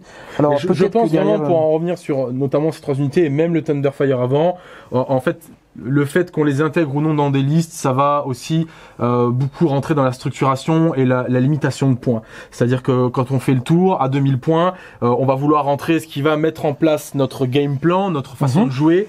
Et après, est-ce qu'on va avoir les points derrière pour intégrer un truc comme le Stalker ou l'Hunter qui n'est là que pour tambouriner Oui, pour faire des avions. Ok, bon, mon adversaire a pas d'avion, j'ai l'air bien malin.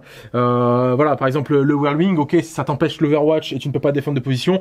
Mais bon, si t'as une armée qui ne repose pas sur l'Overwatch et sur lequel, bon, tu t'en tamponnes un petit peu de tenir la position, voilà. tu reposeras que sur sa létalité complémentaire Voilà. et t'auras, t'auras voilà. Mais C'est vraiment, euh, je pense, c'est des, c'est des, c'est des unités qui ont un charisme, un caractère et qui sont qui ont des bonus qui sont un peu plus situationnels que euh, d'autres entrées de l'armée Mm. qui répondent un petit peu à toutes les phases, à tout, tout genre d'ennemis. Bon après, on va on va les passer un peu plus vite parce qu'il y en a trop, mais après il y a toute la litanie des tanks qui sont sortis avec un nouveau une nouvelle catégorie de tanks qui est euh, les gladiators. Enfin en tout cas, le, en gros le châssis euh, d'impulsor qui a été équipé avec euh, avec euh, des armes de tir. Bon, Euh, là il y a quand même un mot à dire sur ce châssis d'impulsor. Moi je je, je, je, je pleure parce que j'en ai acheté 6 et à Game Workshop en plus. Et donc euh, ils ont perdu le mot clé fly, mais je je croyais au début que c'était une erreur parce que euh, ils l'avaient déjà fait hein, sur les Drukhari, ils, avaient oublié le mot-clé fly des Chronos et des Talos, mais manifestement sur le codex Necron aussi. Tout ce qui a l'air de, raser un peu le sol, d'être un peu en gros anti-grave, mais juste euh, pas volant, juste anti-grave, perd le mot-clé fly. Donc là, les impulsors, les répulsors, les gladiateurs, euh, gladiators et, tous les autres châssis dérivés ont perdu le mot-clé fly. Euh, donc ça pique. Euh, et, euh, et par contre, ils ont un, mot-clé qui leur permet de désengager et tirer sur Ouais. la mobilisation d'un stratagème, enfin bon, et- ou de repousser un peu des charges. Voilà, donc le Gladiator Valiant, il va, il va, il va te sortir 8 tirs euh, à 34 pas parce qu'il bouge de 10, donc 24 plus 10. Ouais. Euh, il, va te, il va te sortir 8 tirs de multimelta et autres. Euh, c'est quoi C'est les Twin La- Twin Lastalon, donc c'est les ouais. 24 pas aussi. Ouais, c'est vraiment un, châssis anti-char. Anti-char, et tu vas pouvoir l'équiper d'un petit peu d'anti-aérien, de quelques trucs comme ça. Bon, il- il- en fait, ces châssis-là ont rendu 8. C'est ça un peu l'intérêt qu'ils ont. Oui. C'est-à-dire que tu passes un cap, tu passes un palier euh, de résilience. Bon, après, ça vaut 240 points. Ça n'a pas d'invue. Encore une fois, un même raisonnement. hein. Le mec en face, il voit ton truc. Il reste caché avec ses armes lourdes euh, jusqu'à ce que tu t'approches et il te le déglingue et puis on n'en parle plus. Donc euh, bon, moi je suis pas du tout fan euh, de ça et je crois pas que ce soit dans ce sens-là que ira, qu'ira la méta. Et en tout cas, c'est pas dans ce sens-là que vont les les, euh, les, les auteurs. Voilà. Bon, en tout cas, c'est clairement, comme tu l'as dit, c'est des figurines de soutien euh, qui ont pour vocation à tirer. Mhm. Et pour le coup, elles auront pas l'impact qu'on qu'on pourrait leur donner aussi du fait bah, du mot-clé corps qui va encore une fois vous empêcher de fiabiliser vos jets parce que c'est bien d'avoir des multilas, des multimelta, des fuseurs, mais euh, on se craque vite sur les jets, on se retrouve vite avec des phases où on sort notre châssis parce qu'on veut euh, infuser euh, le châssis de l'adversaire et si on se rate, bah, comme tu l'as dit, l'absence d'invulnérable et hormis l'enduit de capacité de résilience, bon ben ça le limite. En plus, il a un profil dégressif. Et en plus, il n'a pas une grande portée, c'est-à-dire qu'un tank qui va avoir une portée énorme, alors on, on a des tables plus petites, mais un tank qui va avoir un, un heavy support qui va avoir une grosse portée. Je vois que ce qui se joue beaucoup, par exemple, chez les custos, c'est euh, leur tank anti-grave là, qui a une portée à Calibus, 60. ouais, Bon, ouais. Euh, je comprends là. Et qui pour le coup a une invulnérable à 4 plus. Invulnérable, euh, ouais, ou à 5, je crois, c'est à 5, mais euh, une save, à- enfin une touche à 2 plus. Alors, on parle pas du même peut-être, mais en fait, ces tanks-là qui ont une portée à 60, ils peuvent vraiment outrange des logiques euh, anti-char euh, un peu énervées. Alors que là, le gars a 24 pas de portée. Bah, mais, mais je le charge, moi, à 24 pas, Oui. avec mes White Donc, euh, il n'y a aucune logique anti-char euh, qui résiste à ça. Donc, euh, bon, je trouve pas ça génial. Euh, mais bon, la figurine a du swag euh, pour ceux qui la aiment la figurine est collection, comme- ouais, euh, non, vraiment. allez-y, Ouais, la figurine, euh, ça, c'est évidemment. Mais pour le reste, bon voilà, Land Raider, Crusader, les, toute la série des Land Raider, évidemment avec les nouvelles règles euh, V9, euh, tout ça aussi peut avoir du sens parce que euh, bah, il est impossible de d'engluer des châssis, continuer à tirer. Donc tout ce qui va être un peu en statut est très difficile à tomber, genre CEVA 2, rendu 8, euh, ça peut servir. Les répulsors, euh, donc euh, Executioner et, et, et répulsor tout court. Le répulsor tout court est passé en, en heavy support. C'est-à-dire qu'ils se sont rendus compte qu'en fait, euh, qualifier ça de transport, c'était quand même pas sérieux. Euh, donc, euh, c'est un heavy support désormais, le répulsor tout court. Bon, euh, ils sont. Il a pas, il a pas changé. Après, Il a pas changé. Si, il a perdu Si. son mot clé fly. Ouais. Non, mais si, il a, il a, il a été bien nerf aussi parce qu'il peut plus double tir. C'est-à-dire que désormais, Oui, ça la capte- canon, le répulsor révolutionnaire. c'est ouais. plus d'un touche. Ouais.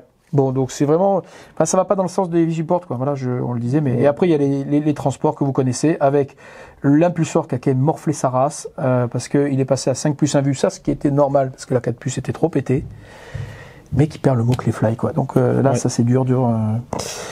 Ça sera beaucoup moins utilisé. Éventuellement, il sera joué pour aller porter T1 des unités au, au centre, type Space Wolf, euh, on en parlera après. Euh, et puis, ben, Après, les autres n'ont pas autres, changé. hein. On a toujours le. Rhino, le Razor, le Drop Pod. Ça, les, les- les thématiques et les mécaniques de ces unités-là n'ont pas changé. La dernière nouveauté, c'est le, Le- bunker. Ouais, le Euh, bunker. le bunker qui est une nouvelle unité. Bon, euh, Qui est une fortification. fortification, euh, bien, bien noté. déjà, c'est assez limitatif dans la façon de l'employer. Ouais, c'est limitatif De dans la façon dans une d'employer. Pour la placer sur table, ça va être quand même très chiant parce que t'as pas le droit de le mettre sur les objectifs. T'as pas le droit de faire... Donc c'est quand même très chiant. En termes de destruction, c'est quand même moyen. Ça touche à 4+. Ça va, le bolter lourd va tirer sur toutes les unités à portée, donc ça fait quelques tirs, mais bon, franchement, qui, ne peut pas supporter de prendre euh, trois tirs qui touchent à 4+. Donc euh, je trouve que c'est une unité euh, inutile. Pour le coup, vraiment, euh, elle, elle ajoute rien de mon point de vue. Elle a un peu de swag à, Oui. à une collection. Voilà, si tu veux faire une collection et ça a de la gueule parce que c'est vraiment un bunker, Oui, en plus c'est- façon Star-. Starcraft 2, on dirait. en Ouais, plus, voilà. Mais sinon, en termes tactiques, ça apporte rien. Les avions, on n'en a pas parlé. Euh, Est-ce qu'il y a un intérêt majeur à en parler? Je ne sais Non, pas. Je crois pas. Ça a pas changé, si ce n'est que forcément ils vont bénéficier de la- les- des petits changements d'armes, des bolters lourds, etc., etc.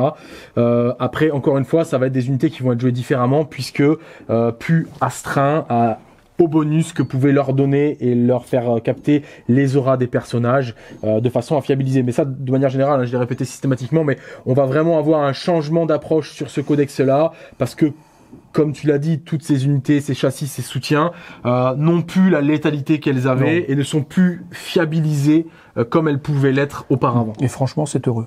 Et c'est très bien comme ça, je suis tout à fait d'accord. En complément des datasheets, euh, si tu me permets, Je les permets. trois nouvelles, pardon, les trois nouveaux objectifs secondaires qui sont disponibles pour les Space Marines. Oui. Moi, je fais partie de ceux qui sont convaincus que même en compétitif, ces objectifs-là seront joués parce que je les trouve équilibrés et que euh, je trouve qu'ils font partie du, de, de- du- de la forge de- Et- du, du et codex. je suis entièrement d'accord. Et surtout, ça rajoute un petit peu euh, de, de contenu à ce, cette composante-là du jeu, qui, à mon sens, est un petit peu légère sur Mhm. les règles de base et même sur le chapter approved. Oui, J'étais un petit peu déçu sur ce, sur ce, sur ce côté-là au niveau du chapter approved de Grand Tournament. Je trouvais que ça manquait un petit peu de Mhm. diversité au niveau des secondaires. Et, euh, et vraiment, euh, voilà, moi, je, je, je suis euh, pour, en tout cas, qu'on les intègre dans le format compétitif. Et euh, de toute façon, si vous êtes des joueurs euh, plus euh, généraux, plus sur du jeu un peu plus commun, euh, il faut absolument les jouer parce que ils vont tous apporter leur leur caractère au jeu d'une faction ou d'un codex. Alors en l'occurrence, qu'est-ce que nous on en a trois. Il y en a un qui va se ranger dans la catégorie Purge the Enemy, donc qui est pourri. Lui, euh, il est nul. Euh, il s'appelle Codex Warfare. Tu as un potentiel maximum de 15 points et euh, tu marques un point. C'est un objectif de fin de bataille et tu as un point à chaque fois que tu as tué une unité. Juste- donc un point avec une, unité, une, une arme d'assaut, un point avec une arme de corps à corps, un point avec une arme lourde. Et donc en fait, il faut référencer pendant toute la game quelle est l'arme qui a terminé l'unité adverse. Donc déjà, il faut que l'adversaire ait 15 Comment tu unités. mets 15 points du coup Ben, il faut tuer 15 unités et les tuer bien comme il faut. 5, terminer 5 unités avec une arme d'assaut, 5 unités au close, 5 unités avec une arme C'est lourde. très conditionnel. Ouais, c'est Bon, ouais. C'est nul. Ensuite, il y a le Battlefield, il y en a un qui se range de la Battlefield Supremacy, donc euh, Contrôle dans de euh, contrôle de map, Mm. les cartes de table, etc., euh, qui s'appelle euh, euh, Shock Tactics. Celui-là est assez intéressant, surtout pour rattraper des retards, parce que euh, il donne 3 points si on récupère un objectif qui était tenu par l'adversaire au début du round. Donc, euh, euh, alors, quand euh, l'adversaire est devant euh, sur le contrôle map et au primary, du coup, c'est facile. On n'a on a que ça à, choisir. Donc, euh, c'est trois points maximum hein, par, par round. Oui, c'est ça, par round. Donc, ça permet de rattraper des écarts. Donc, c'est un effet plutôt modérateur. En revanche, si vous êtes devant, bah, euh, vous Ça n'a pas beaucoup d'intérêt. Vous avez du mal à les scorer parce que vous êtes en train de le fumer déjà. Donc euh, bon, il est, il est intéressant, mais il faut vraiment identifier quelle va être la mécanique de jeu pendant la game. Il faut partir aussi du principe, moi j'aime j'aime beaucoup le répéter, que vous pouvez marquer 15 points maximum par secondaire, mais partez du principe que vous ne marquerez euh, pas toujours vos 15 points. Non, bien sûr. Là, en- là, en l'occurrence, on parle de récupérer des objectifs à l'adversaire. Donc, potentiellement, T1, T2, on va un peu s'asseoir dessus. On va plutôt les scorer Ouais, à partir T1 du surtout. T3. Ouais, T2, voilà. Mais, mais en gros, on sait qu'on on pourra mettre entre 9 et 12 points. Voilà. Difficilement plus. Voilà. Euh, donc, et, puis surtout, il rentre en concurrence avec des objectifs qui sont beaucoup plus euh, rémunérateurs, comme Oui. euh, les quarts de table. Ouais, clairement. Euh, et ensuite, il y en a un autre qui est dans une catégorie qui est un peu pauvre en général, euh, en tout cas qui est laissé un peu plus pour compte, qui s'appelle No Mercy, No Respite. C'est la catégorie. Et l'objectif s'appelle Death of Moment. Ah, Pardon, Death of, Oath of Moment. Donc le, jeu- le, le, le souhait. Le, le, souhait- non, C'est du moment? Le souhait, ouais, l'oath, c'est un souhait, une sorte Euh, de- bah, de promesse. Bon. Il a un nom un peu Euh, stylé. ouais, ouais. Et en fait, lui, il est très panaché. C'est-à-dire que il y a quatre, quatre façons de marquer des points. Deux points si, à la fin du battle round, vous avez placé une unité wally within le centre. Si pas. Mhm. Ça, c'est deux points. Ensuite, il y a deux points. Il y a un point si vous n'avez pas raté de test de morale et que vous n'avez pas désengagé. En gros, si vous n'avez pas fait les pleutres. La couleur pleutre. La couleur. Et un point si vous avez détruit un, un- un véhicule, un monstre ou un, ou un personnage. Donc il y a un maximum de 4 points par round. Donc il y a un potentiel maximal de 20 points. KPA 15. Mhm. Euh, je suppose KPA 15. KPA 15, Oui, oui, ouais, c'est KPA 15, ouais, bien sûr. Et je le trouve très en phase avec les mécaniques euh, Space Marine et, dans, et placé dans un environnement plutôt pauvre. Euh, le No Mercy, No, no Respite, Ouais. il est plutôt pauvre. Donc là, il ajoute et je le trouve très bien. Donc euh, ça, ça permet de, ça permet aussi de replacer euh, le- les datasheets qu'on vient de lire dans l'environnement de scénario et de jeu qui va venir.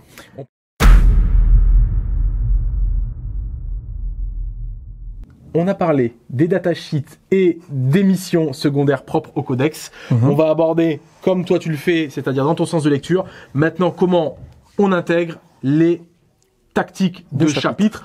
Pour rappel, vous avez une armée Space Marines, vous allez lui choisir un chapitre de référence qui va vous donner des bonus, soit vous en choisissez un tout fait parmi, on va dire, les primogénitors, donc les chapitres de base, que sont les Iron Hands, les Salamanders, etc., etc., ou alors vous pouvez créer votre propre chapitre successeur et choisir des doctrines spécifiques. Ça nous fait donc 14 euh, chapitres à aborder.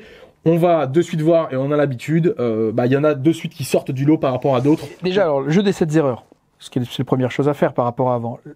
Rien n'a changé, à part les Dark Angels. C'est-à-dire que tous les autres chapitres euh, ont gardé les mêmes euh, règles génériques qu'avant. Les Dark Angels, qui avaient une règle absolument nulle, qui disait si vous n'avez pas bougé, vous pouvez reroll les as, euh, c'est cadeau. Ouais.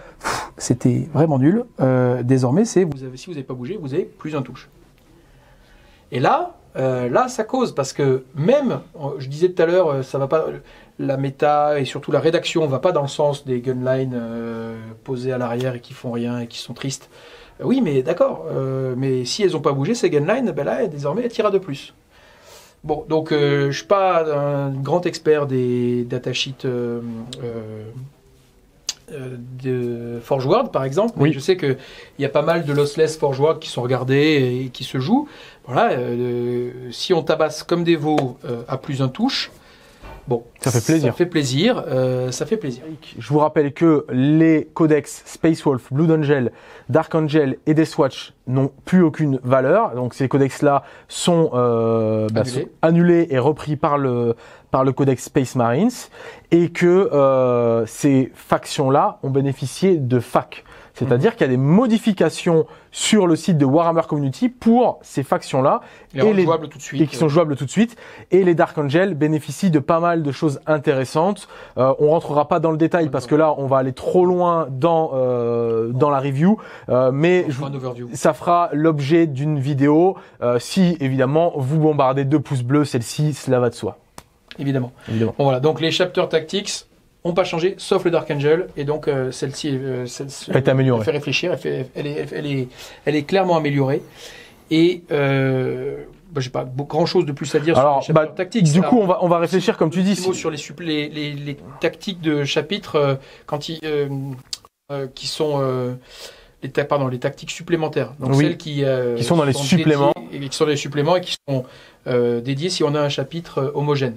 Celles-ci non plus euh, n'ont pas changé, mais d'une manière générale, on va le voir tout à l'heure, euh, tout de suite d'ailleurs, parce qu'on va en parler assez rapidement des stratagèmes, euh, ces, tactiques de chapitres ont été up par, l'ajout d'un stratagème qui permet de revenir à n'importe quel moment de la, bataille, n'importe quelle doctrine, pour pouvoir activer dès le T1 ou jusqu'au T6, au T5, pardon, il y a plus de 5 tours, euh, cette, euh, cette doctrine spéciale. Ouais. Donc ça, c'est grosso modo un up pour des... euh, Enfin, en gros, un encouragement à jouer des chapitres purs et pas forcément des Des successeurs, Des- ouais. Des, non, mais des successeurs si, Oui, mais, Mais pas des soupes. ouais. Euh, Pour continuer à avoir cette démarche du jeu des 7 erreurs, on savait qu'en Space Marines, Le t'avais le, pour moi, tu avais le White Scar qui, qui tenait la dragée avec l'Imperial Fist Oui, qui était devant. à l'époque où il y avait Voilà. beaucoup de, de Exactement. venaient. Euh, le White Scar et l'Imperial Fist se tenaient la dragée. Après derrière, on avait euh, le Salamanders et après derrière, on avait le Iron Hands. Mais bon, c'était des chapitres tout qui cas, sortaient ce qui du est sûr, c'est que là, il faut, dans ce cas-là, il faut rentrer un petit peu dans les facs et ça va pas nous prendre très longtemps. Euh, là, désormais, il y a eu quand même pas mal de changements. Les Imperial Fist, il y a eu un nerf euh, très violent de la doctrine euh, spéciale qui était activée en, en doctrine Deva. Désormais, le plus un dommage n'est accessible que pour les armes de force 7 ou plus. Ouais. Bon, donc là, euh, les, les mecs qui tiraient avec des Stalker Bolter ou avec n'importe quoi qui se retrouvaient dommage 3, L'utilité, bah, il y avait le Whirlwing, le Whirlwing qui euh, force 6 PA, euh, force 6 de damage, notamment le Whirlwing Scorpius qui tirait deux fois de chez Forge World. Il passait damage 3 Mm. sur euh, des véhicules. Là, il est que force 6, donc il n'est pas euh, même impacté le par cette règle. Fire qui pouvait Oui, le Thunderfire, voilà, Euh, en tout plus à fait. avec le stratagème plus un bless Ouais. qui des. Donc ça c'est c'est un gros nerf euh, de l'Imperial Fist mais qui va dans le sens de tout ce qu'on dit, hein, c'est-à-dire euh, le truc facile, lossless, euh, donc euh, sans ligne de vue qui tire, euh, Et qui qui tambourine des, des- qui te déboîte T1. Fini.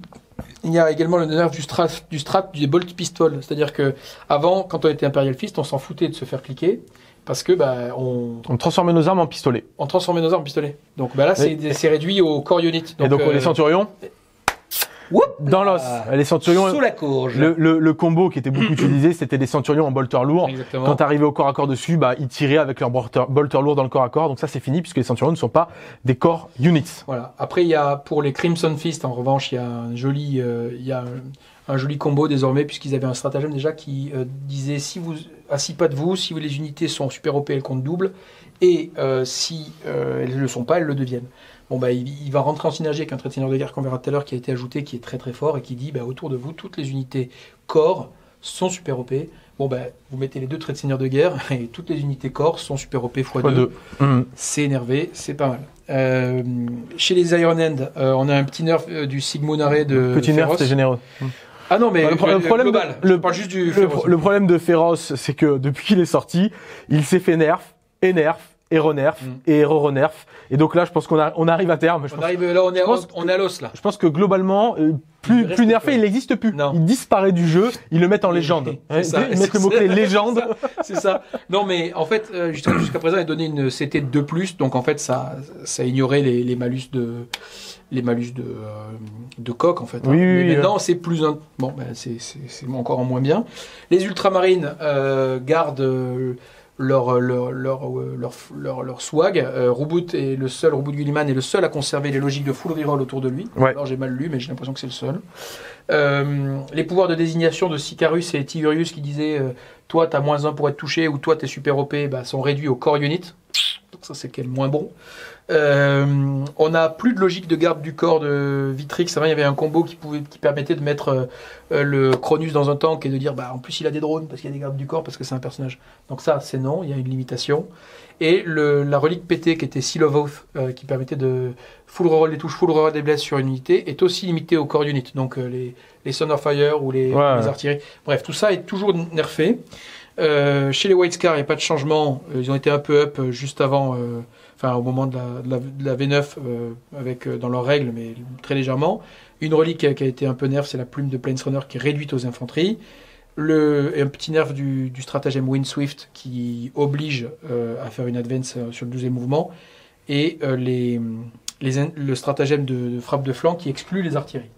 Donc encore une fois, des, des efforts pour, de la part des auteurs pour faire une vraie distinction entre ce qui est un heavy support, qui est une artillerie. Donc il n'y a, pas beaucoup. hein. Le mot-clé artillerie est assez rare. En fait, c'est le Thunderfire et la tourelle merdique là. Ouais. Donc euh, bon. Les... Non mais bon. voilà, les Blood Angels, euh, ils ont perdu leur intervention héroïque pour un PC à 6 pouces. Maintenant, elle est à 3 PC. Euh, Sanguin- Sanguinor a une intervention héroïque hyper sexy. Te Sanguinor fait des interventions héroïques depuis les FEP. Oui, ça c'est génial. Tu... Ici, il est en FEP. Quand tu charges une Une unité Blood Angel, il peut t'intervenir Allez, directement depuis les... Dans ton Bim loin. Et il arrive au close. Ah ouais. Engagé directement, Ça, c'est drôle. prêt à taper. Euh, c'est ça. Et c'est les prêtres, c'est-à-dire que ils peuvent faire passer le un Blood Angel. Alors il y en a un qui donne ça en, en aura, c'est le Mhm. prêtre nommé, là j'ai oublié son nom. Et sinon les prêtres sanguiniens, ils, ils désignent un- une unité, elle passe en doctrine d'assaut, donc avec euh, Avec les bonus que ça sauvages de je sais plus quoi, Ouais, ouais. le PA-1, etc. Donc euh, ça, c'est assez énervé, c'est très très bien. Et puis il y a une grosse montée à un point d'à peu près tous les persos qui étaient qui était même- légitime. Ouais, ils étaient Ils étaient très... très fort et il valait 80 à 90 points, Ouais. c'était n'importe quoi. Donc voilà. Pour les Dark Angel, euh, Azrael a été re-up. Je pense c'est une erreur parce que avant c'était la 4 plus 1 vue était à 6 pas en aura, c'est unit à, euh, à 6 pouces. Après ça a été fi- modèle à 6 pouces. Comme, le, comme pour Féroce, Oui. et c'est tout- les, toutes les facs vont dans ce sens-là. Et là, c'est revenu unit. Donc, on peut avoir des développements autour d'Azrael en étoile, euh, qui donne une vue à 4+. Euh, euh, je pense que c'est une erreur, je l'espère. Euh, et par contre, ce qui est intéressant à regarder, c'est la nouvelle règle Inner Circle, qui était une règle qui avait beaucoup de swag et de fluff. Toujours. Mais désormais, elle a une vraie traduction euh, dans le jeu, parce que quand on a Inner Circle, on a Transhuman de base. Alors, Transhuman Physiology dit Vous ne me blessez que sur du 4. C'était un stratagème qui a changé sur le codex, puisque maintenant il n'est utilisable que sur les unités primaris. Ça, ça a changé. Ça a changé. En DA, toutes les armures Terminator l'ont de base. Alors, pas toutes les armures Terminator, puisque toutes les, toutes les, toutes les, tous les mecs qui ont Inner Circle, donc toutes les datasheets Dark Angel, Oui. euh, donc effectivement, c'est souvent les Terminators, mais tu as le droit aussi en Dark Angel de prendre des Terminators du codex normal, qui Oui. n'auront pas les Oui, d'accord. Ouais. Donc tous les, les Black euh, les Black Knight, etc. ou je sais plus quoi, les Dark. euh, donc ça c'est Batman, c'est pas la même chose. Mais bref, tous les Knights euh, Dark Angel et tous les personnages euh, arm- armure Terminator sont blessables sur du 4+, donc ça c'est très fort. Parce que en plus de ça, dans les autres codex, les Space Marines de base, comptant les Terminators, n'ont plus droit à, cette, à l'accès à ce, Oui, à la Transhuman ce stratagème. Physiology. ouais. donc ça, c'est fort. Euh, là, pour le coup, euh, il y a un éventuellement un enjeu à les spammer. Euh, par contre, ils n'ont pas, eux, de double FEP. Euh, ils n'ont pas le- la, la balise téléportation. Ils ont un dispel, qui est fort aussi. hein.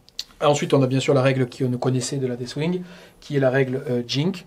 C'est-à-dire pour les, les Ravenwing, Ravenwing, quand euh, ils ils advance, ils ont euh, 4 plus 1 vue. Ouais. Et euh, ceux, qui ceux qui seront Ravenwing, c'est-à-dire issus du codex de base, et qui n'auront pas la règle Jink, parce que ça ne sera pas des datasheets un peu classiques des Dark Angel, peuvent avoir, quand même, s'ils ont le mot-clé Ravenwing, une 4 plus 1 vue sur un stratagème. Donc, c'est vraiment assez intéressant. Euh, en gros, les Dark Angel qui euh, qu'on voyait pas, euh, moi je les ai pas vus pendant deux années ou très peu, là dernièrement un Mhm. petit peu. Là vraiment, je trouve qu'ils ont, euh, ils ont en gros Monté en puissance. Une grosse montée en puissance, ils ont été bien dopés. Les Space Wolf récupèrent un- euh, l'intervention héroïque. Ça, on l'a pas dit d'ailleurs. Ça, ça fait partie des changements tout à l'heure dans, les, dans les les doctrines de chapitre. Les Space Wolf récupèrent l'intervention héroïque de base pour toute l'armée. Ça, c'est fort. C'est très fort. Euh, et ils ont pour un PC une intervention héroïque À 6 à pouces. 6. Donc Ça, ils ont- piqué au Death Watch, au, au- au Blood Angel.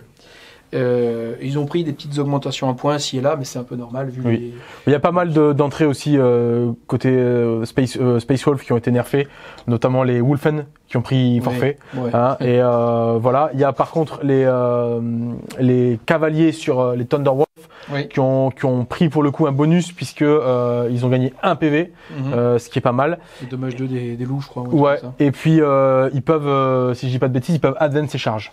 Euh, et puis on a la- ah, enfin la Death Watch qui a quand même pas mal de, de changements. Il y a eu des gros changements de munitions Ouais. qui sont sympas parce qu'avant euh, on a le plus un bless sur euh, les sur des, des véhicules et les monstres. On a une munition qui sert à rien, qui dit euh, ignore les couverts, alors qu'on a une autre munition qui dit moins 1 en PA et plus 6 à la portée. Donc je sais pas. Euh, Il y en a une qui est meilleure que l'autre Ouais, et qui fait plus. c'est- Bon, euh, pour contrer les armées qui ont des euh, qui ont plus 2 à la save de couvert. Oh putain, bien vu. Ah, j'avais pas vu. Il y en a pas beaucoup, hein, mais il y Non, en a non, pas non, beaucoup. mais t'as raison, c'est Ouais, peut-être ouais, ça. c'est- certainement Il n'y a pas grand chose. Hein. Non, et puis ils ont surtout une munition qui est vraiment énervée. Celle-ci, c'est elle fait deux dommages. C'est Plus d'un dommage. Donc ça, c'est assez énervé. Euh, donc j'aime bien. Désormais, les kill teams euh, peuvent enfin, s'étendre, le concept des kill teams s'étend aux primaris. Donc on- il y a toutes les kill teams primaris possibles. Euh, C'est assez sexy, c'est marrant. Ouais, ça va être intéressant à jouer. Euh, Après, vraiment, là, on a fait un, un petit lissage sur ce qui a été changé via les facs sur ces factions-là. Il faut s'attendre, évidemment, à avoir les suppléments d'ici Voilà. la fin d'année. Ça va donc euh, rendre ces propos complètement péremptoires. Mm. Et euh, donc, on, on va pas. Et, et voilà. Et donc, euh, on, on s'attardera pas plus là-dessus. Une chose est sûre, c'est que euh, quand ces suppléments, ces nouveaux suppléments vont sortir, on vous en fera la review sur Creative Wargame, bien sûr. assurément. Euh, Concrètement, est-ce que pour toi aujourd'hui, les chapitres euh, primogénitors les plus sexy sont toujours les mêmes?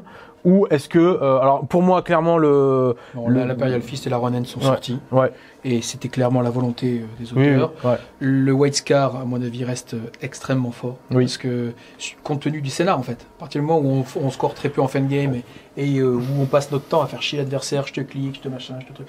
Bon, ça reste très fort. Mhm. Le Dark Angel euh, envoie beaucoup, beaucoup de violence au tir. Ouais. Et puis, il a de la ressource en résilience. Les Black Knight, ça rigole pas du Oui, tout. euh, ils ont gagné un PV d'ailleurs, les Black gagné Knight, un on l'a pas dit, mais- euh, Ils tapent au marteau sans malus. Enfin, bon, euh, des trucs très, très, très, très énervés. Euh, bon, les logiques, par contre, un peu. Encore une fois, un peu facile. Euh, Dark Angel qui était sur euh, des. J'ai des plasmas, ils font dommage 3 et j'ai plus un touche, donc je perds pas de, de Dark Angel. Ah, c'est fini C'est fini. Ouais. Bon, bah, tant mieux. Voilà, Tant mieux, Tant ouais. mieux, parce que c'était quand même un peu. et bon si on devait conclure sur les chapitres je pense que euh, euh, l'Iron Hands qui était pas mal sort du lot parce que comme tu l'as dit on casse les mécaniques de gunline fond de cours buffet à mort qui vont tambouriner tout ce qui passe Euh, donc voilà ça c'est ça met un petit peu un terme à l'Iron Hands pour l'instant euh, les Blue Angel semblent Fonctionne. étaient, étaient bons et semblent ne pas avoir changé pour le coup c'est Ils sont, un peu, ils sont un peu meurtris par la perte de la richesse de leur codex. Il faut attendre le supplément. Oui. Pour l'instant, ils ont perdu quelques Oui. stratagèmes. Là, je l'ai pas dit, mais la Death Watch n'a juste pas de stratagème pour ouais, l'instant. ouais, bon, bah, Bon, mais ils, ça attendront un petit Mais peu pour- disons, si on doit, les, si on doit en, en nommer 4-5, là, euh, le White Scar, le Blood Angel donc dans les, et le Space Wolf, donc les trois, et le Dark euh, Angel les trois de close sont ouais. dedans. ouais Le Dark Angel et le Salamander sont Ouais. très forts. Et c'est. voilà et après derrière on- Ultramarine euh, est toujours là. Je, je, Et bon. Je, moi, je trouve pas l'ultramarine euh, ultra sexy pour l'instant. Euh, je, je le trouve pas ultra sexy. Non. On verra ce que propose le supplément, encore une fois. Euh, Bah non, non, même pas. Non, ouais, ouais, donc c'est terminé. les ouais, ultramarines, ouais. euh, Les ultramarines, de toute façon, sont très portés gunline, hein, on va pas se mentir. Hein, c'est une armée de tir, hein, les ultramarines, hein, c'est des tireurs. Donc, euh, donc voilà. Mais euh, je trouve pas les bonus exceptionnels, euh, surtout au vu maintenant du jeu qu'on a de placement et des tables qui logiquement deviennent chargées. Les salamanders maintenant ont récupéré les, les armes à flammes de base à 12, donc on va pouvoir les jouer enfin en primo salamander et pas en, en successeur. Ouais. Et dans les personnages nommés et les traits de seigneur de guerre pour les personnages nommés, il y a des trucs très très pétés, du genre full reroll des wounds pour les armes à flammes, full reroll des D6 pour les armes à flammes, des choses comme ça. Donc les salamanders, il y a des choses très intéressantes à faire. Et puis on a dit, euh, on, on va, on On va a- développer quelques méta, mais on n'a pas, parlé des Black Templars. On n'a pas parlé des Black Templars.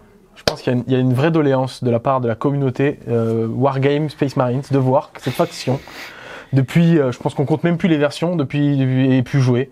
Euh, je, je suis même curieux qu'ils existent encore. Euh, moi, je pensais que dans le fluff, ils auraient dit que cette faction était morte sur une planète. On passe donc à l'avant-dernière partie euh, de cette review, c'est-à-dire les ressources complémentaires.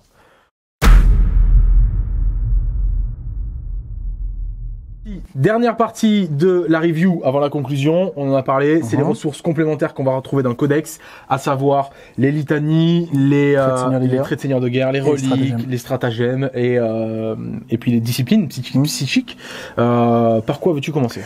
Bah parce qu'elle a le moins changé, euh, disciplines psychiques ont très peu changé. Il y a eu un petit changement dans la discipline, je crois, obscuration, qui contraint le corridor, euh, donc le double move des Phobos.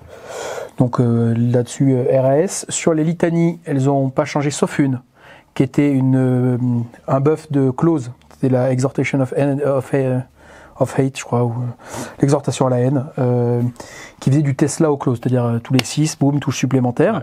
Et c'était un buff qui ciblait une unité et le- l'unité l'emportait avec elle.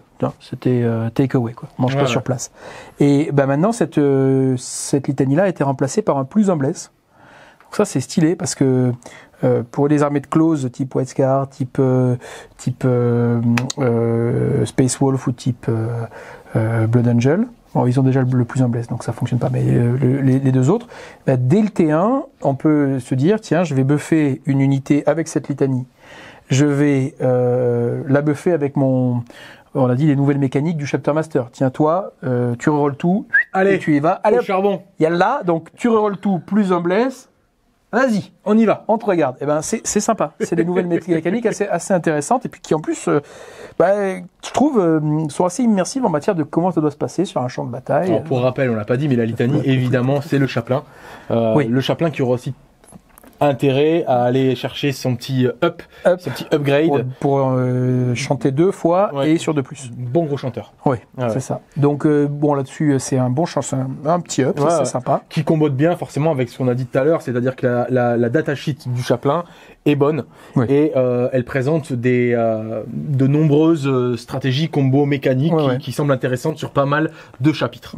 Tout à fait. Donc voilà, bon, voilà pour les, les litanies et les domaines psy. Maintenant, je propose qu'on passe plutôt au stratagème. On fera ensuite reliques et traits de guerres un peu plus rapidement. Ouais. Donc les stratagèmes sont un peu moins nombreux qu'avant, mais ils sont surtout séquencés suivant des catégories. Donc c'est ça n'a pas beaucoup de, de, de, de sens pour l'instant, mais je pense qu'il y aura des synergies plus tard. Euh, il y en a déjà d'ailleurs, il me semble, dans le codex Necron. euh, telle ou telle euh, euh, catégorie est accessible pour 0 PC si vous avez tel. Oui. Bon.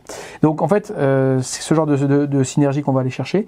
Euh, on a euh, enfin quelque chose d'un peu sérieux euh, quand on se bat face au SMC. Pour un PC, on full reroll. Donc euh, ça c'est pas mal. Full Des touches. des, des touches. On a euh, Honor, euh, Honor the Chapter qui est euh, ce qu'on avait avant, c'était le double close, mais maintenant c'est pour deux PC et c'est restreint aux intercesseurs d'assaut. Pour faire simple, intercesseurs d'assaut peuvent double close, intercesseurs tout court peuvent double tir. Voilà. Et d'ailleurs, avant c'était limité. C'était pas un double tir, c'était une augmentation du tir rapide, donc c'était que les mecs avec leur, bo- le, bo- le Bolton normaux. Maintenant vous avez des autobolts, boum, double tir. Vous avez 10 intercesseurs qui font 30 tirs. Bon bah double tir, 60 tirs. Allez, c'est parti. Bon, Donc, en plus. le- T'as vu ça Et puis euh, ça fuse. Ça va vite. ça va ça vite. va vite, c'est efficace. C'est incroyable. Je remets mes lunettes. et J'étais sans lunettes là. T'étais sans lunettes. J'étais sans lunettes. Et ce qui est intéressant de dire aussi, comme tu l'as dit, donc deux PC pour les intercesseurs squad euh, d'assaut, Mhm. euh, ce qui veut dire que forcément euh, bah, vos personnages, typiquement on en parlait du Smash Captain, de double close. plus de double close, il aura quand même le stratagème qui permet de taper en mourant Ouais. s'il n'a pas été activé Et voilà, donc pas de petits malins Voilà. qui vont. euh, il va, il va un taper, mourir, retaper. Non, Voilà, non, ça c'est ça c'est fini. n'existe Et plus. c'est pas plus mal en C'est vérité. très bien. C'est très bien. C'est très On bien. s'accorde à dire que c'est très bien. Voilà. Euh, vous avez le droit de pas être d'accord. Vous avez Euh, tout à fait le droit, bien sûr. après consultation avec nous-mêmes, nous on est d'accord. Donc tout va bien. On a ensuite Fury of the First, qui est le- un truc qu'on avait avant pour un PC. les Terminators touchent à plus un, tir ou close. Oui. Donc ça c'est très fort. Surtout Ouais. qu'on a dit que les Terminators euh, sont back, Ouais. donc euh, tout va bien. Transhuman Physiology, qui est restreint au Primaris, mais qui est up parce que c'est un PC si on est moins de 5, deux PC si on est plus de 5. Donc euh, les ATV, un PC, boum, euh, transhuman. Euh, une petite escouade MSU, euh, hop, un PC transhuman. En fait, ça va être beaucoup plus utilisé, je pense, comme ça. Donc, euh, pour sauver une unité qui pourrait faire le tour d'après, les scramblers, ou qui pourrait aller derrière contester. Donc, vous avez 5 infiltrators, boum, euh, euh, bah vas-y, et si tu veux les péter, il faut vraiment y mettre la ressource. Quoi. Donc, ça, c'est vraiment sympa.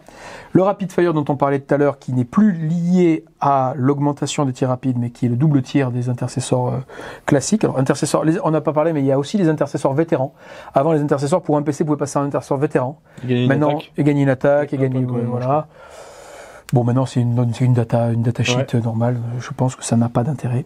Euh, on a le Genie Rough Might. Donc, ça, c'est euh, pour euh, les primaris. C'était un stratagème qui existait déjà avant, mais qui passait à un PC, qui était à 2, il me semble. Quand on fait un 6 pour toucher, on blesse auto. Ça, c'est sympa. Surtout si vous avez des, euh, un, un gros pack euh, de, de, de- Qui sature bien. Qui sature bien. Mettons Ouais. que vous avez décidé de jouer euh, un pack d'intercesseurs d'assaut de flanc avec soit des Weight Scars, soit des, des comment ils s'appellent euh, les, les. Salamanders, oui. Ben, voilà, c'est eux, c'est eux. Je te remercie. Ouais. Et donc ils ont plus un bless, mais en fait ou, avec ce, qu'on veut, hein, parce qu'il y a plus un bless dans les deux dans les deux chapitres. Bon bah vous y mettez le double close et ça, ça fait quand même une belle douche de une belle douche euh, à l'arrivée si jamais si jamais ils arrivent à, à charger. Bon ensuite on a Unyielding Unyielding in the face of the foe.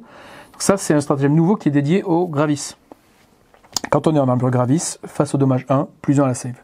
Donc ça concrètement ça dit face à la face à la statue on tombe pas. Oui. Donc ça c'est pas mal, c'est pas mal, même si euh, je pense qu'il va y avoir euh, petit à petit dans la méta, dans les armes de tir, beaucoup plus de d'armes qui vont être en dommages multiples. Ouais. Donc euh, bon, à voir. C'est pas génial. Vous jouez contre euh, un homologue Marines, ou vous jouez contre un GK, ou vous jouez contre un Dark Angel, un, un Eldar noir ou n'importe quoi. euh, bon, ça va pas le faire. hein, il y aura des dommages multiples.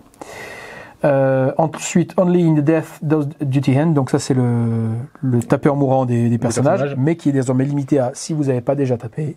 Donc plus de plus de petits malins qui vont euh, faire uti- l'utiliser comme un double close. Vous avez toujours le Feel No Pain à 5 sur les mortels pour les véhicules qui existait déjà. Euh, le Power of the Machine Spirit qui euh, lui euh, a changé parce que c'est juste euh, lorsqu'on a le, le mot-clé Power of the Machine Spirit, on peut pour deux PC fonctionner comme si on n'avait pas été blessé. Donc c'est plus Profil genre, euh, maximal voilà, sur, euh, sur les profils dégressifs.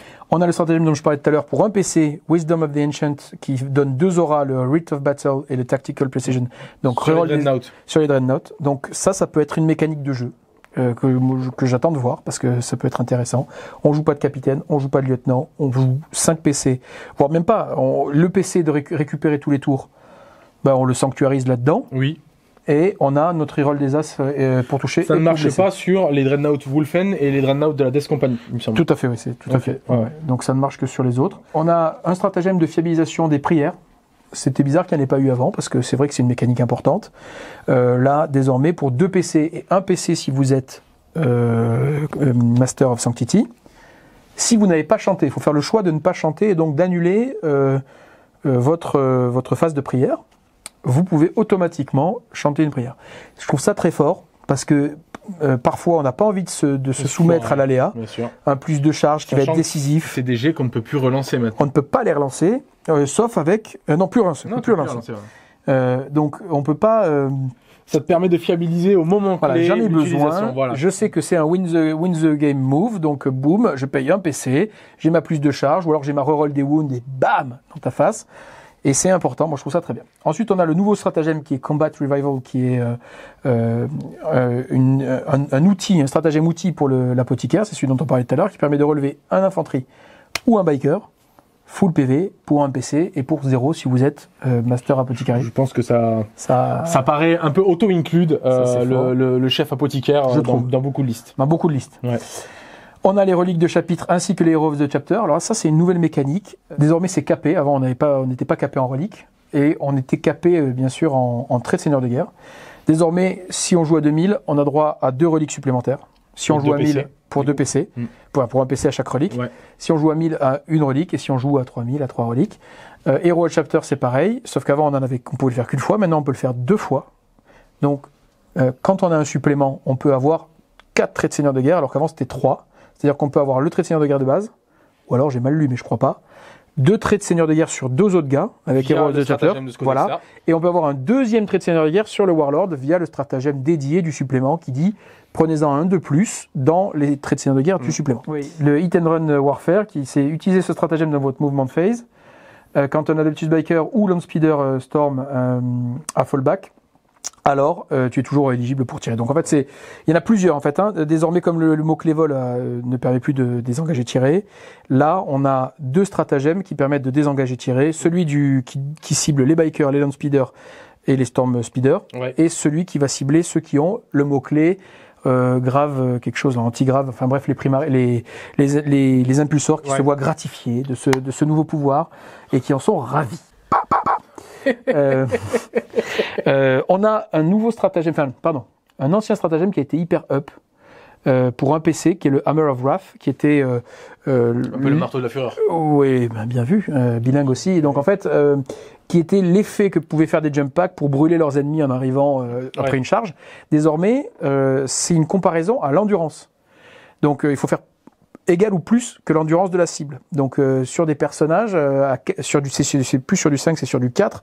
Si vous avez un mec un peu fragile euh, qui est rendu 3, c'est sur du 3+. Donc vous pouvez vraiment doucher de mortel quand vous avez des jump packs. C'est pour un PC. Donc je trouve ça très fort, moi. Euh, surtout que ça ne se fait pas en phase de close, c'est juste à la charge. A le skilled runner euh, qui, euh, le skilled rider pardon, qui était à 3, on l'a vu à 3 plus ou à 4, selon qu'on est advance ou pas, qui est passé à juste un moins 1 pour être touché. Uncompromising fire, stratagème qui, euh, qui s'adapte aux nouvelles, euh, au nouveau fonctionnement de scénario, c'est-à-dire on peut faire une action et quand même tirer. Celui-là est intéressant pour deux PC. Si vous avez une unité que vous trouvez, c'est toujours un peu le, le dilemme quand on doit faire une action, c'est putain, j'ai une unité à 300 points qui doit euh, déboîter l'adversaire et en fait là tactiquement j'aurais besoin de déployer les scramblers ou de, de je sais pas de planter une, action, bannière, quoi. Faire une action. Bon ben là vous pouvez faire l'action et quand même tirer pour deux PC. Donc ça c'est assez intéressant.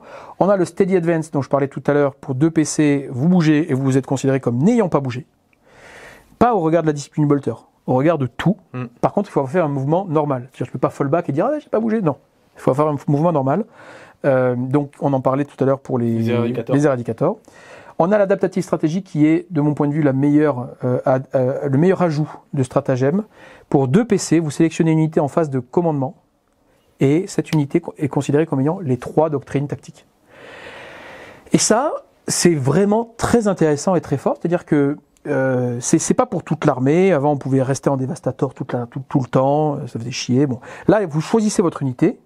Elle a toutes les doctrines tactiques. Donc, elle a les PA-1 sur assaut, euh, euh, close et, euh, et armes lourdes. C'est pas le plus intéressant. Surtout, elle va bénéficier de, de la doctrine spéciale de son chapitre au moment où vous le voulez.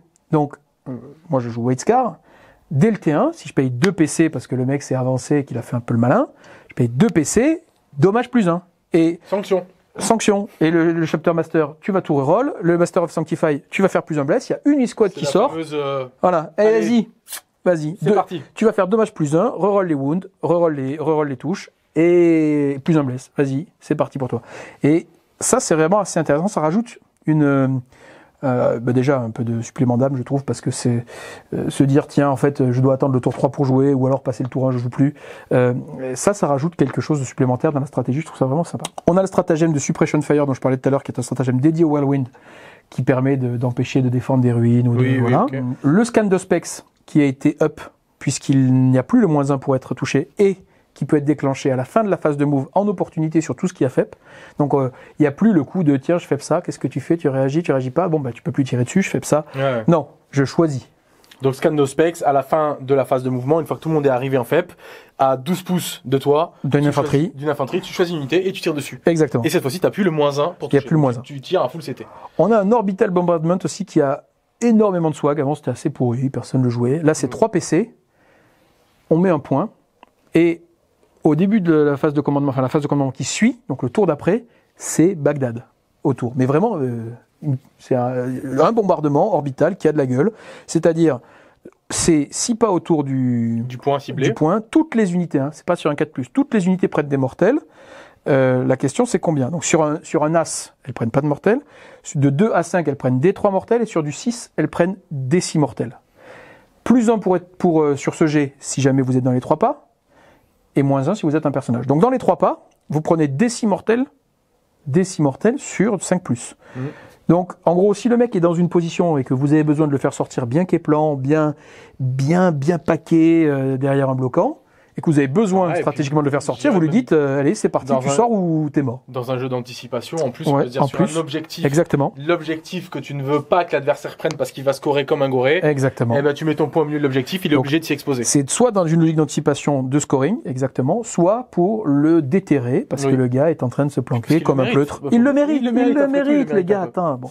Bon voilà, donc ce bombardement orbital a, a du swag. On va pas aller jusqu'au bout. Il y en a un autre qui est un peu marrant et qui, on en a parlé, c'est les- avec les rivers. On peut euh, désactiver la capacité super OP d'unité Et surtout désactiver leur action aussi. et, dé- et, y en a, et désactiver leur action. Donc on a pas mal de stratagèmes de ce type-là.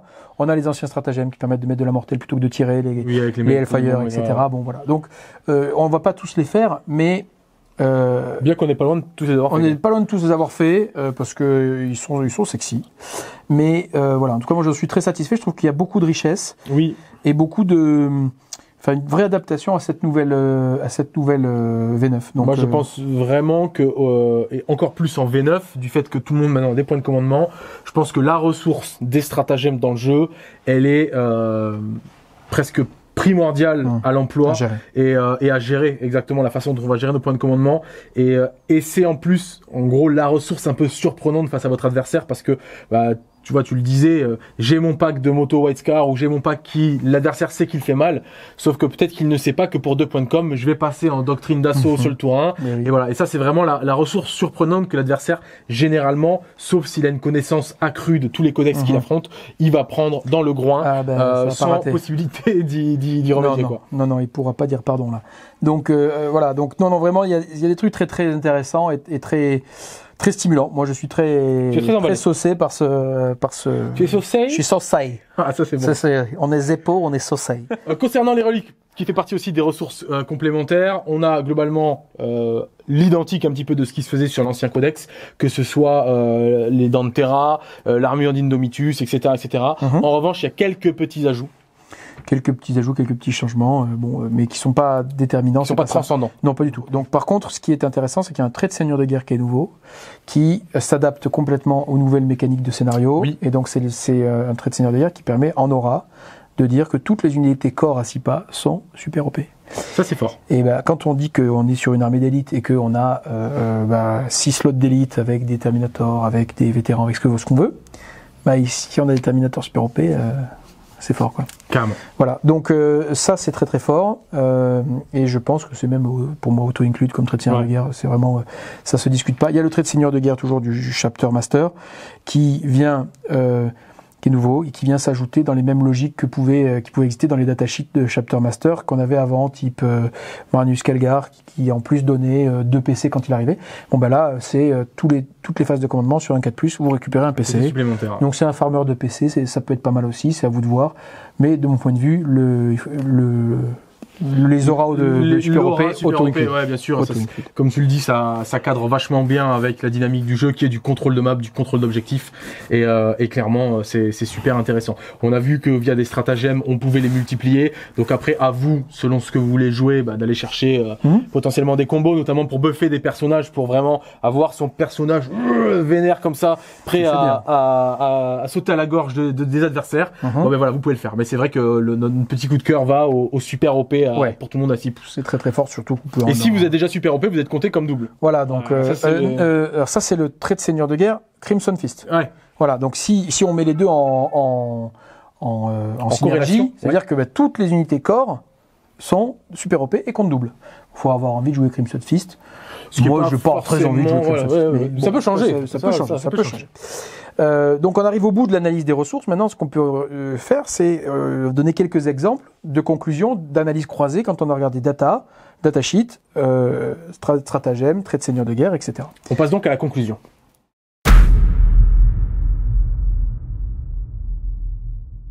Conclusion de cette review, on arrive à la fin, on a parlé des datasheets, on a parlé des chapitres, on a parlé des Mhm. ressources complémentaires, on a parlé de la façon dont on, dont on aborde le codex et la façon dont toi tu l'analyses et Mhm. tu, tu y fais ta- tes premières lectures. Euh, si on devait conclure cette review, ça serait vers quoi on tend en termes de liste, euh, Mhm. vers quoi on s'oriente en termes de gameplay pour ce nouveau codex Space Marine qui est le premier de la V9, premier en même temps que le Necron évidemment, que vous allez retrouver très bientôt sur la chaîne, à n'en pas douter.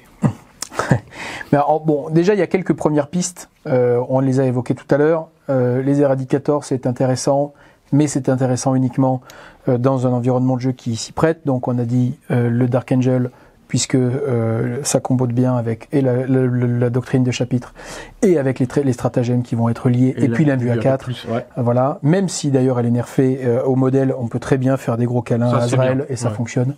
Euh, on a parlé euh, de les jouer également en, en salamander, ça fonctionne très bien. On a parlé des Blade Guard que tout le monde euh, regarde parce que c'est la, fi- la figurine est géniale. euh, et, C'est vrai que la euh, figurine est sexy. ça a beaucoup on de va pas gueule. se mentir. passe, passe, on va pas se tirer les cartes entre gitans, elle a de la gueule. Donc euh, voilà, mais en fait, elle est quand même un peu pourrie toute, toute seule. Alors que si elle est jouée en, en Space Space, Wolf, on peut vraiment lui booster ses attaques. Donc en fait, euh, euh, s'il y a 10, 10 pauvres GI qui viennent la, la bumper, bim, bon ben fini. au moins elle va, la- elle va, elle va Ouais. le péter. Alors que sinon, avec 3 attaques fois euh, 4 ou 5, ça sera pas fait. En plus de ça, elle a un gros soc de 40. Donc elle peut poser son cul sur un objet, c'est-à-dire vraiment le gober, et faire l'intervention héroïque à 3 pas de base ou à 6 pas.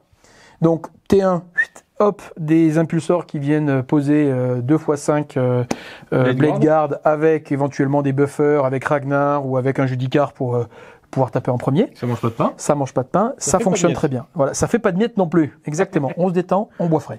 Donc euh, ça, ça peut se jouer.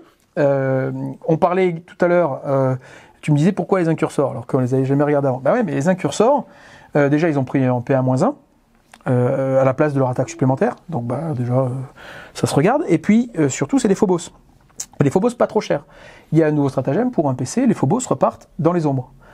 Bon bah, quand vous avez des troupes super OP, euh, vous avez envie de pouvoir éventuellement, euh, euh, s'il y en a un ou deux qui sont restés survivants dans une unité euh, bah, grâce à une transhumane résilience, hop, ça repart dans les ombres et après l'adversaire, bah, il doit, il va devoir euh, screen la totalité de sa zone pour pas qu'il y ait de scrambler dans son, dans son, dans sa zone, ou alors pour pas qu'il y ait une faible charge euh, d'une figurine super OP sur un truc un peu chiant ou un clic. Bon, donc c'est, moi je trouve, ça très fort, mais pas intrinsèquement, rajouté à l'environnement euh, du stratagème. Euh, euh, donc moi j'aurais tendance à, à me, à m'orienter, et puis alors, le stratagème que je trouve pété, je vous disais, c'était celui de, la- de l'adaptation tactique. Euh, moi j'ai toujours joué White Scar, pouvoir être dès le tour 1 en White Scar. Moi les, les premières listes que j'ai construites, c'est des vétérans. Le vétéran en fait il devient résistant, mais s'il donnait dommage que dommage 1, C'était. et ça sera Moins sexy. C'est moins sexy. Donc dans tout, ah, partout ailleurs, donc partout ailleurs de White Scar, il va être dommage 1, sauf si on l'équipe de marteau, donc il va devenir très cher, ou de, ou de gantelet. Mais en White Scar, la griffe à 3 points, ou l'épée plus un force, PA-3 à 3 points. Ben, euh, pour 2 PC, tout ça passe dommage 2. Donc T1, vous avez un mec qui a une griffe pour 3 points. PA-3, reroll les wounds, plus une attaque, dommage 2. Qui va avoir été buffé, reroll les touches, plus un bless. Et qui va venir vous taper à 18 pas, Le plus. fameux. Toi. Voilà, toi tu vas à euh, 12 plus D6 plus 2D6 plus 2 éventuellement, 3 dégâts de 15. meilleurs. Plus 20 égale 30. Voilà, plus 72 Égale voilà, victoire. égale victoire. Donc euh, voilà, moi je moi c'est plutôt vers ça que je vais m'orienter dans un premier temps parce que les- je, pense que les White Cars sont encore extrêmement forts. Euh, je pense qu'il faut qu'il faut vraiment regarder la question des des, des, euh, des salamanders qui euh, euh, avec les, les armes à flammes à 12 pas et euh, ces éradicators euh, vont vraiment pas rigoler. Et puis le retour des persos nommés qu'on ne voyait jamais parce qu'on jouait toujours les salamanders en en successeur. Là, les persos nommés, on va se rendre compte qu'ils sont très forts. Le plus un blesse au corps à corps, euh, la reroll des, des D6 pour euh, des D6 euh, d'armes à flamme, reroll des touches et des wounds pour armes à flamme et armes à fusion. Les Space Wolves peuvent retourner, mais j'attends de voir leur supplément parce ouais, que ça, je pense faut euh, l'advance et charge qui est perdu, c'est c'est gênant. Par contre, quand même, l'intervention héroïque à 6 pas pour un, C'est canon. ouais, c'est canon. Et puis, euh, t'approches pas trop des gars, quoi. ben, du coup, euh, ces Blade Guard qui sont pas super OP. Bon, ben, s'ils sont à 6 pas du mec avec le trait de seigneur de guerre, ils sont super OP. Ils sont sur les, Sur les sur les, sur les objets. Tu peux pas venir, tiens, avec tes, avec tes gardes ou avec tes gaunts, dire, ben, j'en ai plus que toi et je te charge pas. Ben non, moi, je te fais une intervention héroïque. Donc, je te déboîte. Donc, ça, c'est, c'est fort. C'est très fort. Il y a des mécaniques à jouer. Le Dark Angel, on l'a dit, euh, il peut tirer comme une mule. Donc, lui, peut-être, c'est le seul qui break un petit peu le, la trajectoire des auteurs. Ce que euh, tu disais jusqu'à présent. voilà, à voir, à voir si ça suffit. Je, je suis pas sûr. Euh, Les Terminator. On a les pas parlé, mais les Terminator, euh, Terminator, ça avec euh. Transhuman Resilience Ouais. de base, euh, ça rigole pas du tout. Donc le Dark Angel, il y a, il y a quoi qu'il arrive des choses à faire, à mon avis, c'est très intéressant. Voilà. Donc euh, et puis euh, cette règle, euh, regardez comment. le- en fait, il y a des choses à faire sur de l'hyper résistance et statique, qui est celle du Terminator, et de l'hyper mobilité de la Ravenwing. Je, je, c'est, parce que je suis pas un spécialiste Dark Angel, mais l'hypermobilité de la Ravenwing, qui elle va pouvoir prendre son jink, va pouvoir euh, comboter avec les traits de seigneur de guerre, mettre des grosses douches de, de, de tir. Donc euh, il y a des gameplays très très très spécifiques au chapitre. Moi c'est cela que je que je vois euh, comme, comme- que j'anticipe un peu, mais euh, je Moi je, moi, je conclurai là-dessus, justement. Comme tu dis, il y a des gameplays très spécifiques et je pense que c'est ce vers quoi tend le jeu d'une manière assez générale. Du fait qu'à 2000 points, maintenant, on a moins de figurines, que les tables sont plus petites. On va avoir des armées qui vont avoir énormément de caractère avec, avec des gameplays euh, qui sont euh, vachement forts. C'est-à-dire que on aura peut-être moins de polyvalence de manière générale avec euh, du châssis, de la troupe, euh, des trucs qui bougent un peu, etc. Mais on aura des armées qui ont un, un caractère fort, Mhm. une vraie, euh, une vraie structure de jeu. Et ça, c'est intéressant. D'autant plus que ça donne de la richesse Mhm. à la pratique du, du, du jeu Warhammer 40 000. Ça va permettre de voir sur les tables plein de façons de jouer le même codex. et Et, puis ça, moi, j'apprécie Je suis énormément. entièrement d'accord, et puis c'est exactement ce que j'allais dire. euh, Tu, désormais, beaucoup de choses se défendent. Avec cette nouvelle euh, façon de jouer en 5 tours et avec beaucoup de scoring pendant la partie, il y a beaucoup de listes qui vont se défendre. Oui. Même des trucs qu'on ne voyait jamais jouer. J'ai acheté des attaques back squad. Parce que bah, pour 45 points, il y a... euh, euh, oui, ça y va, toi tu y vas, ou même tu vas faire un quart de table, tu vaux 45 points, je m'en fous Oui, oui, clair. tu tiens un, objet, un objectif. Enfin, et il y a des unités qui, que, qui, que l'on qualifié jusqu'ici pendant au moins, je pense, deux, trois, quatre versions de taxes Ça, ça n'existe plus Ça, de mon point très de vue. bien. C'est très bien. Et c'est très bien. Et donc en fait, tout va se justifier. Donc en plus de ça, si vous avez euh, un certain amour pour telle ou telle unité ou telle ou telle figurine, vous allez pouvoir, à mon avis, les jouer et le justifier si, si ça s'intègre à un gameplay que vous aurez projeté. Donc euh, et derrière. euh, je trouve encore plus sur cette version que ce, le jeu se passe sur table et se passe pas sur la liste. En tout cas, euh, moi, je suis assez emballé par l'arrivée de ce codex, des nouvelles mécaniques que nous propose le jeu. Mhm. Ça me plaît. Euh, je trouve ça intéressant. Et, euh, et maintenant, bah, à nous et à vous aussi de d'aller chercher la construction de liste, d'aller jouer, d'aller d'aller faire des, des retours euh, de tournois, de retours de parties, Mhm. savoir qu'est-ce qui tourne, qu'est-ce qui tourne moins bien. Et ça aussi, bah, c'est c'est au final le vrai plaisir du wargame. J'espère que cette vidéo vous a plu. Je te remercie Ben, avec plaisir. de ta venue, ça fait plaisir. Ça faisait Mhm. longtemps qu'on t'avait pas vu sur la chaîne, donc bah voilà, au plaisir euh, de te revoir peut-être sur un rapport de bataille. On en a beaucoup parlé de ce rapport de bataille au studio, Ah ouais, on n'a mais jamais fait. Oui, ben, avec Là, plaisir. tu, là, es les pris, tu es pris à défaut devant la caméra. Il va falloir venir. Et Je viendrai. On, on veut te voir avec ta White Scar. Et euh, bah, en tout cas, merci, merci à toi d'être venu. On passe un coucou, si on l'a pas fait en début de vidéo, à tous les semi-croustillants, puisque tu es le capitaine de cette équipe euh, qui est euh, prétendante pour le qualif ETC. Et, euh, et puis on se retrouve très bientôt pour de nouvelles vidéos et de nouvelles reviews sur Creative Wargame. Je vous dis ciao les seigneurs de guerre.